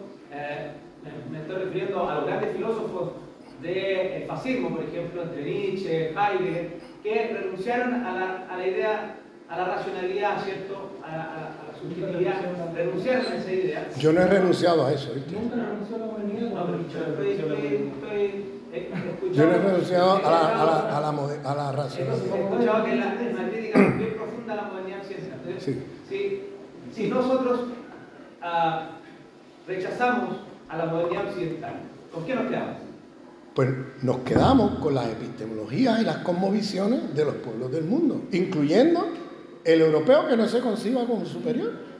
O sea, vamos a ver, aquí tú estás partiendo de unos prejuicios muy fuertes en lo que tú estás escuchando aquí, porque me estás atribuyendo, y esto pasa siempre, mira, donde quiera que yo haga una crítica al eurocentrismo, me están oyendo como si yo fuera anti-europeo. Yo no le quiero hacer Europa lo que Europa le ha hecho al mundo. El fundamentalismo eurocéntrico eh, sacó al resto del mundo de la conversación. Entonces yo no quiero ahora invertirlo y sacar a Europa del medio. Yo quiero que Europa sea uno más, no el centro de la conversación. Ahora, tú me oyes a mí y ¿qué tú concluiste? Que yo estoy sacando Europa del medio. Entonces, viste, porque eso es ese sentido como un eurocéntrico. Porque en el momento en que uno critica el eurocentrismo, se cree que uno está, uno es anti-europeo. Yo no soy anti-europeo, yo soy anti-eurocéntrico, que es otra cosa. Cuando Europa se sitúa como superior, epistémicamente superior, cuando practica racismo epistémico e inferioriza a todo el planeta y lo saca de la conversación, y entonces ellos saben lo que es verdad, lo que es realidad y lo que es mejor para ti. Y cualquier cosa que tú digas que es verdad, que es realidad y que es lo mejor para ti, queda invalidado. Y ellos se te imponen con este tipo de, de esquema.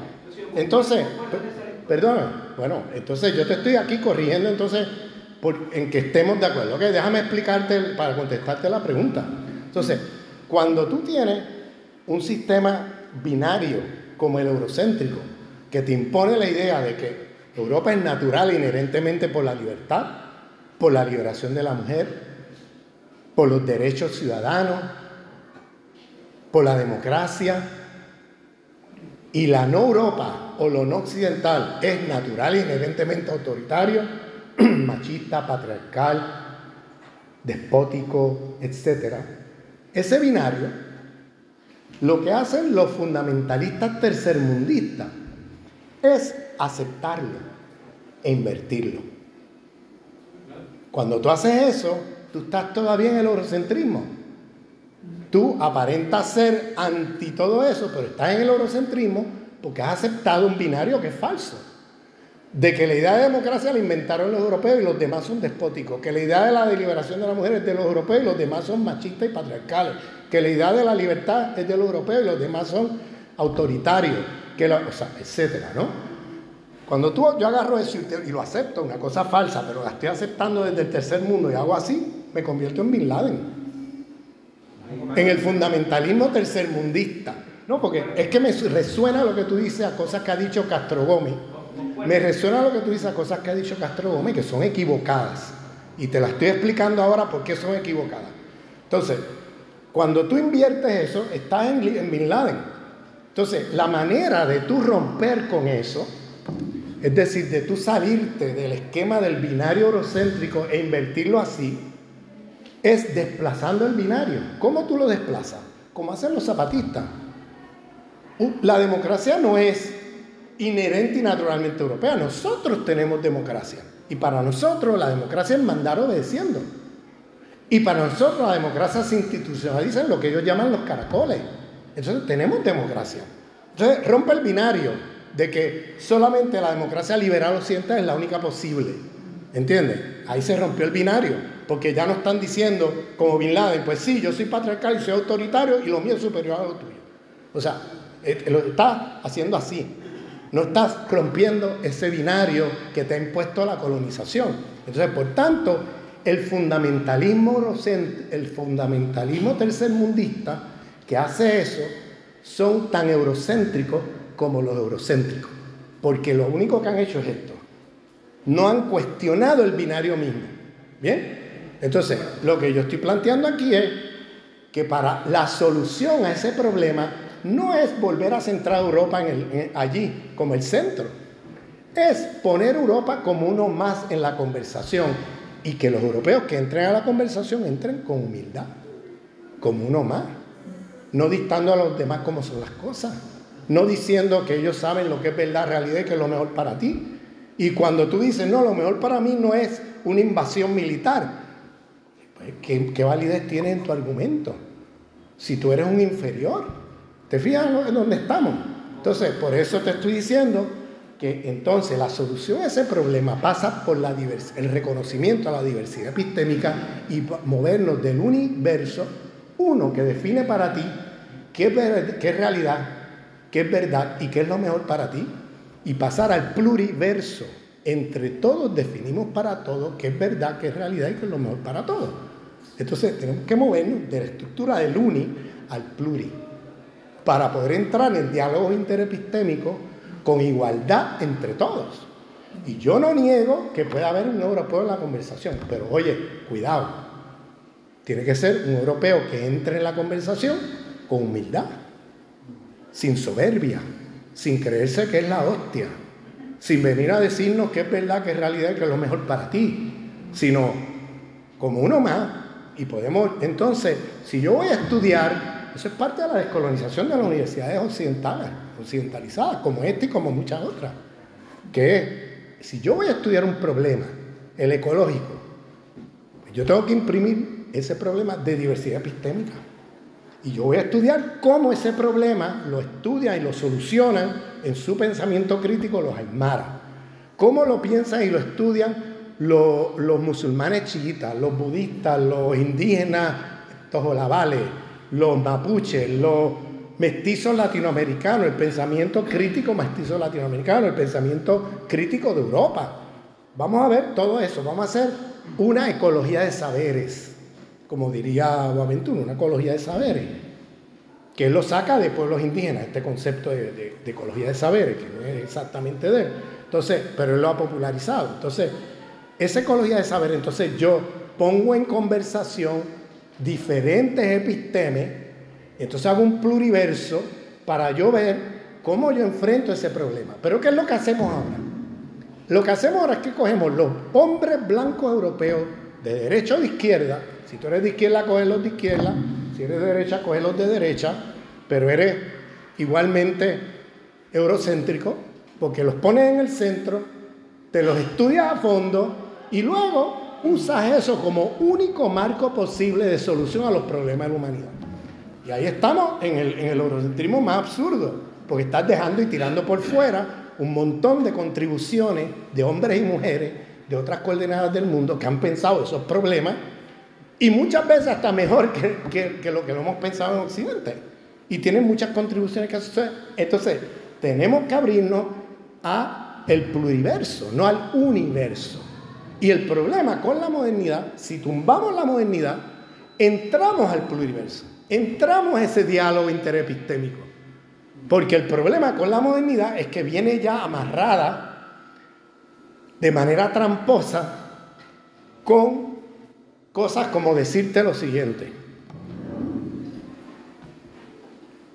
Yo respeto mucho, esto, esto lo digo yo ahora, yo respeto mucho a los intelectuales musulmanes que me dicen, yo no soy creyente, pero yo soy musulmán. Y yo digo, pero ¿cómo, cómo, cómo, cómo? Si no eres creyente no puedes ser musulmán. No, yo nací en una cultura islámica. Y yo no me puedo quitar mi cosmovisión como me quito un sombrero. En cambio, en Occidente somos deshonestos. Porque en Occidente, ¿qué hacemos? No, no, yo estoy más allá de la religión. Yo soy ateo. Pero tú eres el peor de los cristianos. Porque tú nace y crece en una cosmología, en una cultura cristiana, y no eres capaz de reconocerlo. Eres el peor de los cristianos, ni sabes cuán cristiano eres. ¿no? Tú no eres creyente, vale, pero tú eres cristiano, porque te criaste en una cultura cristiana. Y el mundo moderno está construido así, camuflajeando las cosmovisiones que informan nuestras maneras de ser y estar en el mundo, nuestras maneras de pensar. Entonces, el mundo moderno tiene allí incrustada el racismo epistémico, donde, donde mientras no nos descolonizamos de esa modernidad, no salgamos de ahí, no vamos a poder pensar más allá, no vamos a poder ni siquiera enfrentar la transformación de este desastre planetario que se llama modernidad capitalista occidental. No vamos a poder, porque vamos a estar reproduciendo las mismas categorías del sistema contra el cual estamos luchando. Entonces, tenemos que salirnos de ahí y para salirnos de ahí tenemos que, un primer paso es la diversidad epistémica, salirnos del paradigma de la modernidad. Por eso yo soy hipercrítico de la modernidad. Enrique Dussel en, en 1492 decía, bueno, la modernidad tiene un lado emancipatorio y un lado terrible, genocida. Al final de su vida se da cuenta que ese lado emancipatorio que él llamaba libertad, democracia, estas cosas, que no vienen de allí, que vienen de civilizaciones previas y que lo que hace la modernidad de manera deshonesta es ocultarte todo eso y hacerte creer que todo eso viene de los hombres europeos. Entonces caemos en el racismo sexismo epistémico que es fundante a la universidad occidentalizada, que es que te ponemos ahí hombres blancos europeos, las mujeres están fuera, incluyendo a las europeas, entonces, hombre blanco europeo como el pedestal de la conversación epistémica en, el espacio universitario, en el espacio incluso de la izquierda. Y estamos en el racismo, sexismo epistémico, en la izquierda. Pues estamos siempre viendo hombres occidentales de cinco países. Un alemán, un británico, un francés, un gringo y un italiano. Y de ahí se acabó, apaga la luz y vámonos. Y con eso resolvemos el mundo. Pues no, porque esa gente no ha pensado en ninguno de los problemas nuestros acá, en el sur global. Y hay un montón de mujeres y hombres que sí lo han pensado, pero los tenemos fuera del canon del pensamiento por racismo epistémico, porque nos tragamos el cuento de la modernidad. Ese es el problema. Entonces, ¿qué, qué sustituye a esa modernidad destructiva de la vida? Un nuevo proyecto civilizatorio que Dussel llamaba la transmodernidad, más allá de esta modernidad.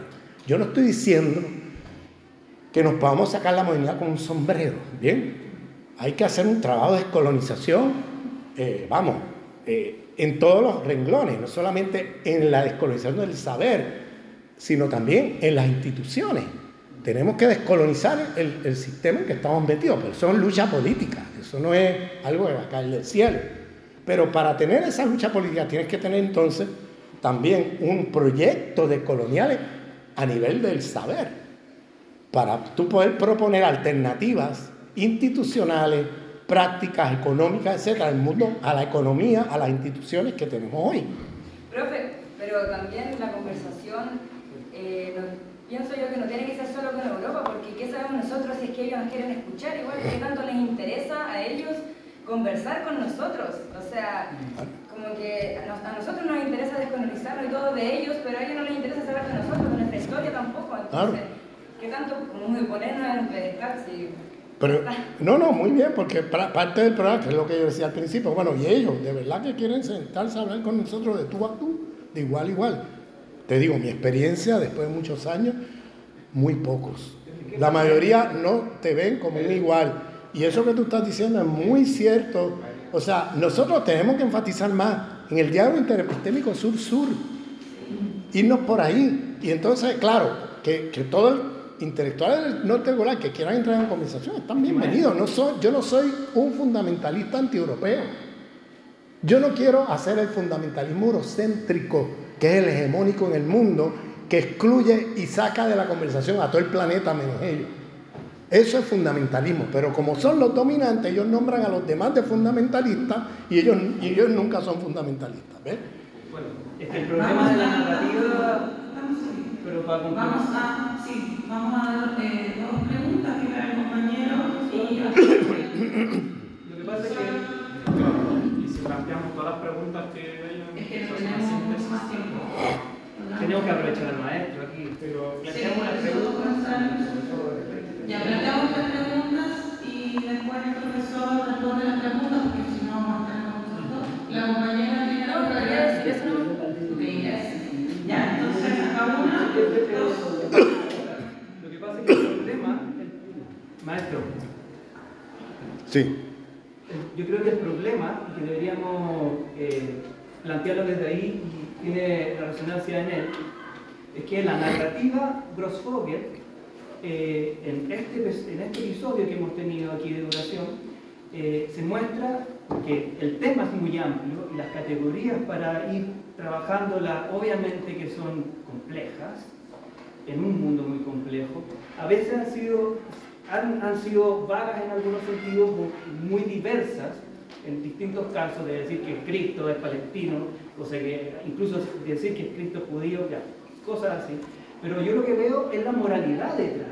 Al juicio moral de la modernidad caemos de nuevo en la contradicción de no ver a la modernidad como un caso de poder, de surgimiento de una nueva episteme, newtoniana, levisiana, descartiana, pascaliana, póngale los títulos que quiera, una nueva epistema de producción de lo material que va a tener poder. Y si nosotros vemos a la modernidad europea como malos, con adjetivaciones terribles, perdemos el foco de decolonización epistémico y terminamos siendo decoloniales eh, solamente en la teología decolonial, en, en, cómo queremos ver la mano en vez de apuntar la luna, como se diga. Entonces yo creo que ahí nos confunden. Y ustedes como, como, como, pensadores y maestros tienen que posibilitarnos la mayor claridad posible para que no tengamos esas confusiones y poder, de, poder empezar. Eso. Eh, profesor, usted dice la política como proyecto civilizatorio. Luego lo refuerza diciendo que debemos crear una nueva narrativa histórica mundial. Muy interesante. Yo le quisiera preguntar a propósito, ¿qué rol juega en este proyecto civilizatorio, por ejemplo, el proyecto BRIC? ¿Cómo lo ve ahí eh, o es una forma nueva de imposición. Eh, la, última pregunta que quisiera hacer está en relación al tema de la lucha de las mujeres como emancipadora del, de este autoritarismo, del tema del machismo, etc., donde a mi juicio las mujeres, no sé si embarcándola dentro del concepto europeizante eh, en, la cosa electoral. A mi juicio las mujeres tienen mucho, podrían cambiar concepción de la política al votar por un proyecto civilizatorio y no en su inmensa mayoría las mujeres. En Argentina, por ejemplo, que, que, votan en favor de los intereses de estos personajes oscuros de la historia, para seguir siendo sometidas. Y yo pienso que las mujeres, por ejemplo, si todas votaran en favor de un proyecto civilizatorio, cambiaría la lógica política. Eso es. Vamos a la última pregunta. Acá no, acá tenemos y... Yo lo que le quería preguntar, profesor, era, bueno, entendiendo este dualismo cartesiano, que de cierta forma perpetuar estas distinciones del dualismo que la encontramos en, todos los sabores de resistencia, eh, que incluso llega a plantear al mismo que, como mencionaba usted, que el espíritu, por ejemplo, todavía no ha llegado a América y por ende no tiene historia y se contrapone justamente a la idea de Pachamama o de Mapun, donde pareciera que esa distinción no, nunca existió, nunca tuvo una relevancia de disociación entre ambos mundos, donde pareciera que, que, este dualismo no existe, que está de cierta forma eh, eh, replegado sobre sí mismo, como quizá un, un espíritu encarnado, etc. Eh, ¿Cómo se puede trascender este dualismo cartesiano entendiendo lo que quizás justamente, quizás nunca ha sido superado, justamente porque quizás si hubiera estado superado ya contenido, quizás ni siquiera hubiera, hubiera habido colonización. Entonces, mi consulta es cómo eh, se puede superar ese, ese, dualismo cartesiano que, como digo, están todos los sabores, cuerpo, alma, naturaleza, cultura, etc., eh, que justamente tiene un montón de consecuencias catastróficas eh, en América y en, la diversidad de culturas que quedaron justamente del, otro lado de, la distinción. Esa es mi pregunta. La última pregunta. muchas gracias por su exposición. yo le quería hacer una consulta acerca del universo respecto a, la ontología política, ¿cierto? que de alguna forma continúa los debates del giro de, de colonial. De- estoy hablando de Arturo Escobar, de Mario Leis, de Marisol de la Cadena, ¿no es cierto?, que plantean eh, en fondo el, el choque entre mundos o ontologías que se evidencian en los conflictos socioambientales ¿m? respecto a la destrucción de la naturaleza. Entonces, eh, ahí hay una discusión también que muchas veces se tiende a ver la ontología como un ente cerrado, ¿no? como un sistema cerrado. Y yo, al menos uno de los temas que estoy tratando de entender es cómo poder comprender las ontologías, siendo que hay distinciones, pero que también hay mezcla, hay agenciamiento entre, entre ontologías, hay fenómenos soci- sociopolíticos, socioculturales.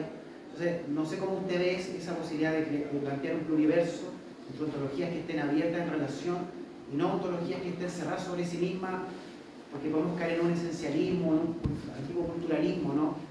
Eh, ¿En qué momento también las ontologías están interconectadas? Eso. tengo una-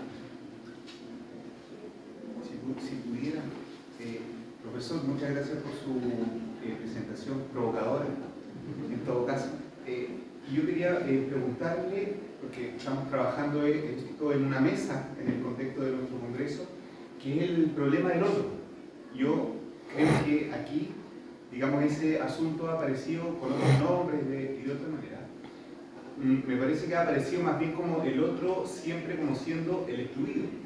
¿no? el que está afuera, y en todo caso está bien identificado quién o desde dónde se excluye y a dónde ha llegado a ir a parar ese otro eh, excluido. ¿no? Pero ¿qué pasa eh, cuando el otro no necesariamente está afuera? ¿no? Sino que eh, también uno podría pensar de que ese otro ya está habitando en uno, ¿no? Para todos lados. Y entonces como mm, de alguna manera el lugar de la, la pregunta es como por el lugar, la posibilidad incluso de no tener conciencia cuánto en uno, de no tener conciencia cuánto en uno está habitando ya el otro. ¿no? Es decir,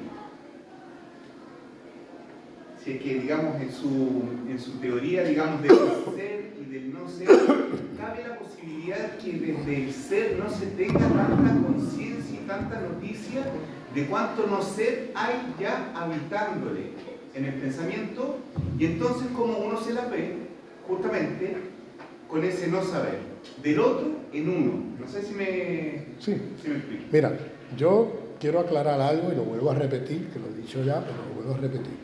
Cuando yo hablo de zona de ser ser, estoy siguiendo a los a Fanon y a los filósofos fanonianos del Caribe. Y eso de zona de ser ser es un diagnóstico, no es una ontología. Yo no estoy diciendo que la gente que, que clasifican como no ser no quieren ser. Es, es un diagnóstico de cómo el sistema los clasifica. Pero cómo nosotros los vemos es diferente, porque precisamente yo no voy a ver a los pueblos indígenas, a los pueblos afrodescendientes o a los pueblos mestizos, lo que tú quieras, o musulmanes lo que sea, que son clasificados en la zona del no ser, o los palestinos, como gente que no tiene ser. Porque entonces repito la ontología del sistema, que tiene ser los europeos y los otros no. No, yo estoy diciendo, yo estoy haciendo un diagnóstico, porque el compañero hace un momento incurrió en, ese, en ese- esa interpretación, ¿no? Y yo, no, yo no estoy diciendo que, que es un diagnóstico de cómo el sistema clasifica. ¿Bien? Eso. Y de ahí en adelante yo reconozco, eh, vamos, la existencia y el ser de, de todos los pueblos. O sea, desde un proyecto de liberación, ya nos salimos de ese esquema. Pero no podemos estar en una lucha donde el no ser va a buscar reconocimiento en el ser y una lucha de reconocimiento. Porque si estás ahí, no vas para ningún lado, no vas a cambiar el sistema. Estás simplemente pidiendo un multiculturalismo liberal. Ahí es donde vas a, terminar. ¿bien? Entonces, sobre el tema de, eh, de que en lugar de categorías teológicas usemos te- categorías este, epistemes y todo eso. Mira, una de las falacias de la modernidad es el eurocentrismo de pensar este binario entre lo secular y lo religioso. ¿Bien? Eso es una trampa, porque todo lo que se dice secular es cristiandad camuflajeada como, como mundo moderno, científico, etc. Pero es cristiandad. Es cosmovisión de la cristiandad. Si nos sacamos, nos salimos de la palabra religión. Y empezamos a, pensar en cosmovisiones.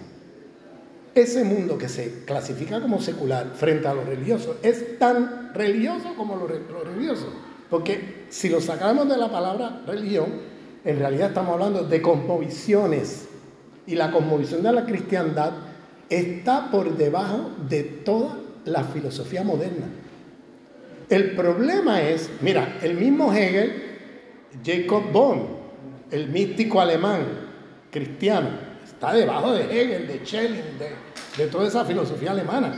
O sea, debajo de toda esta filosofía eh, moderna que se supuestamente eh, establece esta distinción, está los místicos de la cristiandad, la cristiandad debajo.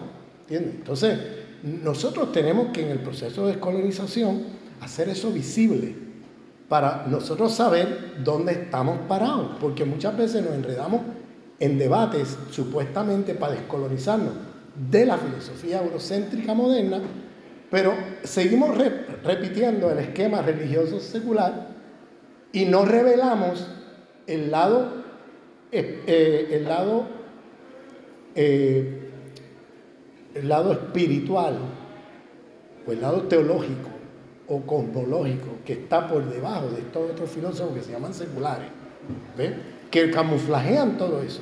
Entonces, tenemos que saber reconocer eso para luego poder entender de dónde viene toda este- esta teología de dominación que es la modernidad. La modernidad es una teología de dominación, pero es no otra cosa que la secularización, la ra- narrativa de la teología de liberación de la cristiandad. Viene de ahí. Ahora, no vamos a cambiar el mundo única y exclusivamente descolonizando la mente. Esto requiere lucha política, de eso es inescapable. Esto es lucha política. Y la lucha política, bueno, requiere de también eh, pensamiento político, filosofía política, eh, categorías para transformar el mundo, etcétera. Tú sabes, estamos en, vamos, esto no es, yo no quiero sonar como que descolonizándonos epistémicamente ya descolonizamos el mundo, no, pero es una parte fundamental, pero no es la única ni exclusiva, porque en mi trabajo economía política, los que lo hayan leído van a ver que yo identifico 16 jerarquías de dominación en el mundo. Entonces, tenemos descolonizando los paradigmas de la economía política marxista y neomarxista, este, que ven dos o tres jerarquías de dominación en, el paradigma. Yo veo 16, descolonizándolos a ellos de su propio paradigma, pero sin tirar a la basura las contribuciones ¿no? que hay ahí. Este, pero eh, tenemos que ir más allá de los paradigmas que esta gente están hablando porque se quedan cortos. ¿Por qué? Porque si el capitalismo es genocida, es porque está organizado desde adentro, no como superestructura, sino como un principio organizador de la economía política por las lógicas racistas de la modernidad occidental. Si el capitalismo es feminicida, es porque está organizado desde adentro mismo con las lógicas de dominación eh, del patriarcado de la cristiandad. Si el capitalismo es eh, eh, epistemicida, porque está organizado desde adentro con las lógicas eurocéntricas de la modernidad occidental. Si el capitalismo es eh, comunitaricida, es porque está organizado con la idea liberal moderna del individuo atomizado de la modernidad occidental. Si el capitalismo es ecologicida, es porque está organizado desde adentro, la propia acumulación de capital, con las lógicas dualistas cartesianas de la modernidad occidental. O sea, el capitalismo histórico, el realmente existente, está organizado desde adentro con las lógicas de la modernidad occidental. Entonces, parte de la lucha contra ese sistema tiene que dar cuenta de esta multiplicidad de opresiones. Porque si tú no luchas contra esas opresiones en la lucha por destruir ese sistema, el problema es que si yo me organizo contra el capital, que está organizado desde adentro con lógica racista, y yo me organizo racistamente, y si yo me organizo contra el capital, que está organizado con lógica patriarcal y me organizo patriarcalmente, y si yo me organizo contra el capital reproduciendo las lógicas dualistas cartesianas, pues voy a terminar reproduciendo todo contra lo cual estoy luchando. Voy a ser incapaz de destruir el sistema. Y ese es el gran problema del socialismo del siglo XX. Que el paradigma con que funcionó era el paradigma infraestructura, superestructura, la economía aquí y todo derivado de la economía, lo demás es superestructura, y se perdieron de vista que estamos en un sistema civilizatorio de múltiples relaciones de dominación que se llama la modernidad occidental con un sistema económico, que es el capitalismo histórico, que está organizado dentro de un sistema civilizatorio. Entonces esto tiene consecuencias políticas, porque si tú luchas contra ese sistema reproduciendo las lógicas de dominación y de opresión moderna, nunca vas a terminar con el capitalismo, porque el capitalismo está reproduciendo las mismas lógicas que lo producen en tu forma de organizarte contra este día. Entonces, para salirnos de ese esquema, entonces necesitamos dar cuenta de eh, organizarnos de una manera interseccional contra el sistema. Porque si no, no vas a acabar con el sistema nunca. Porque la falacia era pensar que hay una economía aquí y una superestructura acá y que todo lo otro, sexismo, racismo, todo eso son ideologías derivadas. Pero no, son constitutivas de la acumulación de capital y de la economía política. Entonces, por eso yo insisto en hacer un trabajo de cirugía ahí con las ideologías de la modernidad, con las estructuras de dominación de la modernidad, porque estamos enfocados en anticapitalismo, anticapitalismo, anticapitalismo, y no nos damos cuenta que el capitalismo es el sistema económico de una civilización y que luchando así contra el capitalismo, capitalismo, capitalismo, y nos olvidamos de la modernidad, no vamos nunca a terminar con el capitalismo. Porque el capitalismo es el sistema económico de una civilización. No es el sistema económico que produce la civilización. Es al revés. Entonces, eh, esto tiene consecuencias políticas. Todo lo que yo he dicho aquí, ¿sabes? O sea, aquí hay, aquí hay un, un bagaje detrás, o sea, y por eso ahora al final lo hago más explícito todavía, ¿no? A partir de tu pregunta. Entonces, eh, el compañero me preguntó sobre... Mira, para descolonizarnos, compañeros y compañeras, tenemos que transontologizarnos. Es lo que dice Dussel. Si, si nos quedamos en nuestra ontología y no nos abrimos, o sea, no, no nos transontologizamos, ir más allá de la ontología, para hacer un proyecto ético, político, ¿no? Pues entonces eh, no va a haber ese diálogo, esa, porque estás centrando todo en la ontología. Estás en Heidegger. No has hecho la transición a el giro ético. ¿Entiendes? Estás todavía en Heidegger. Entonces, eh, ahí hay que hacer unas transformaciones para transontologizar los procesos políticos y empezar a ver esos múltiples mundos, ¿no? Para poderlos abrir tienes que situarte en una posición transontológica ética, porque desde la ética podemos unir mundos. Desde la antología es más difícil. Entonces, eh, el, mira, lo que tú estás diciendo de las mujeres, me preocupa que lo pongas en las mujeres, porque eso mismo puedo decir de los trabajadores, eso mismo puedo decir de cualquier otro grupo en Argentina. La mayoría votaron mi ley. Entonces, ¿por qué estás enfocando en las mujeres? Todo el mundo, la mayoría votó mi ley. Y el problema aquí no son las mujeres, aquí el problema es un problema, eh, vamos, eh, que va por todos los niveles y por todas las capas de por qué alguien como mi ley adquiere la popularidad que adquiere entre los oprimidos de este sistema.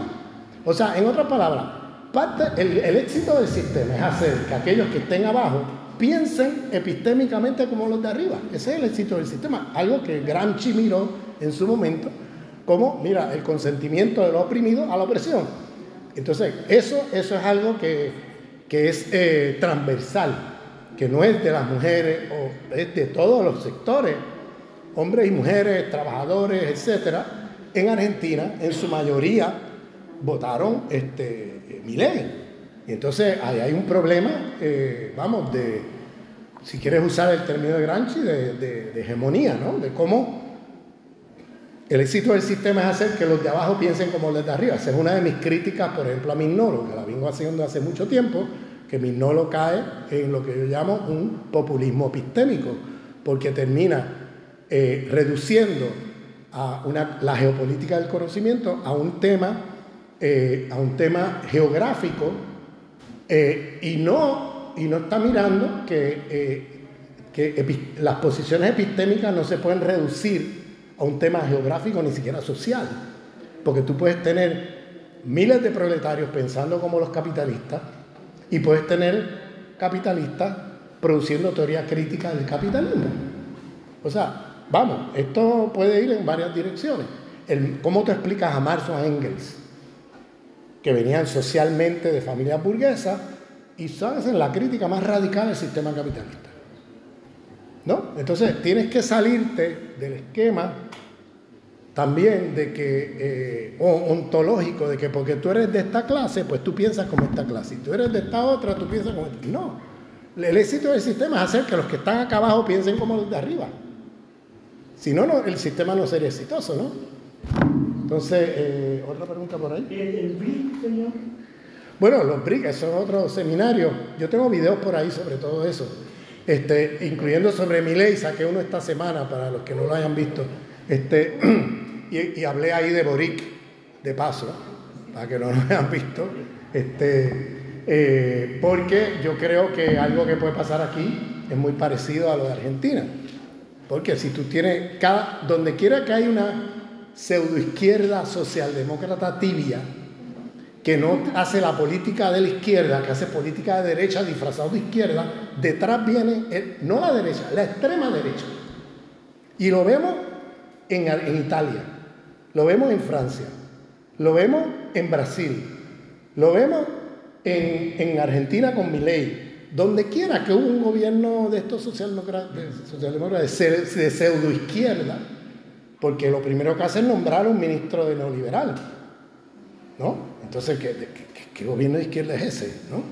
Y además sigue la, la represión la militarización de los pueblos mapuches. Y además reprime a los movimientos sociales que te pusieron allí como en la silla. Para colmo.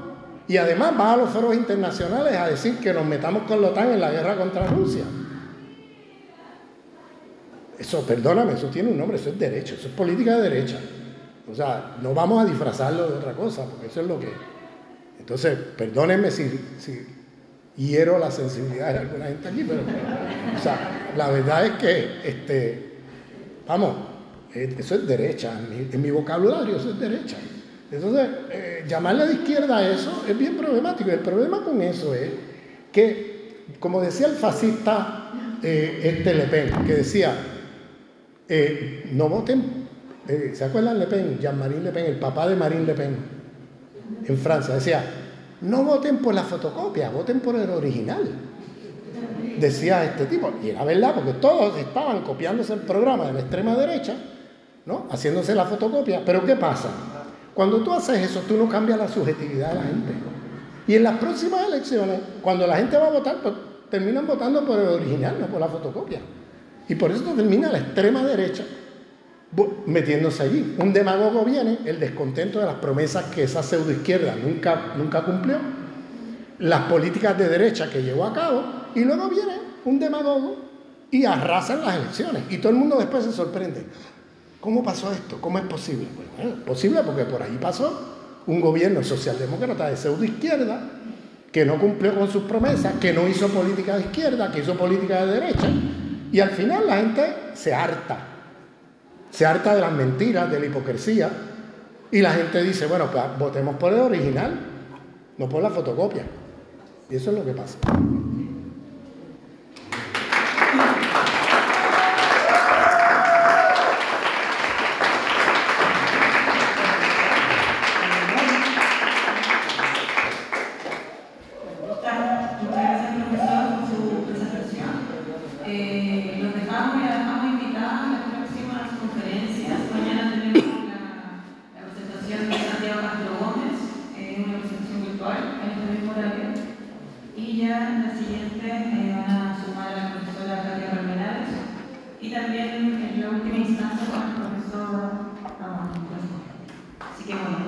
Gracias por su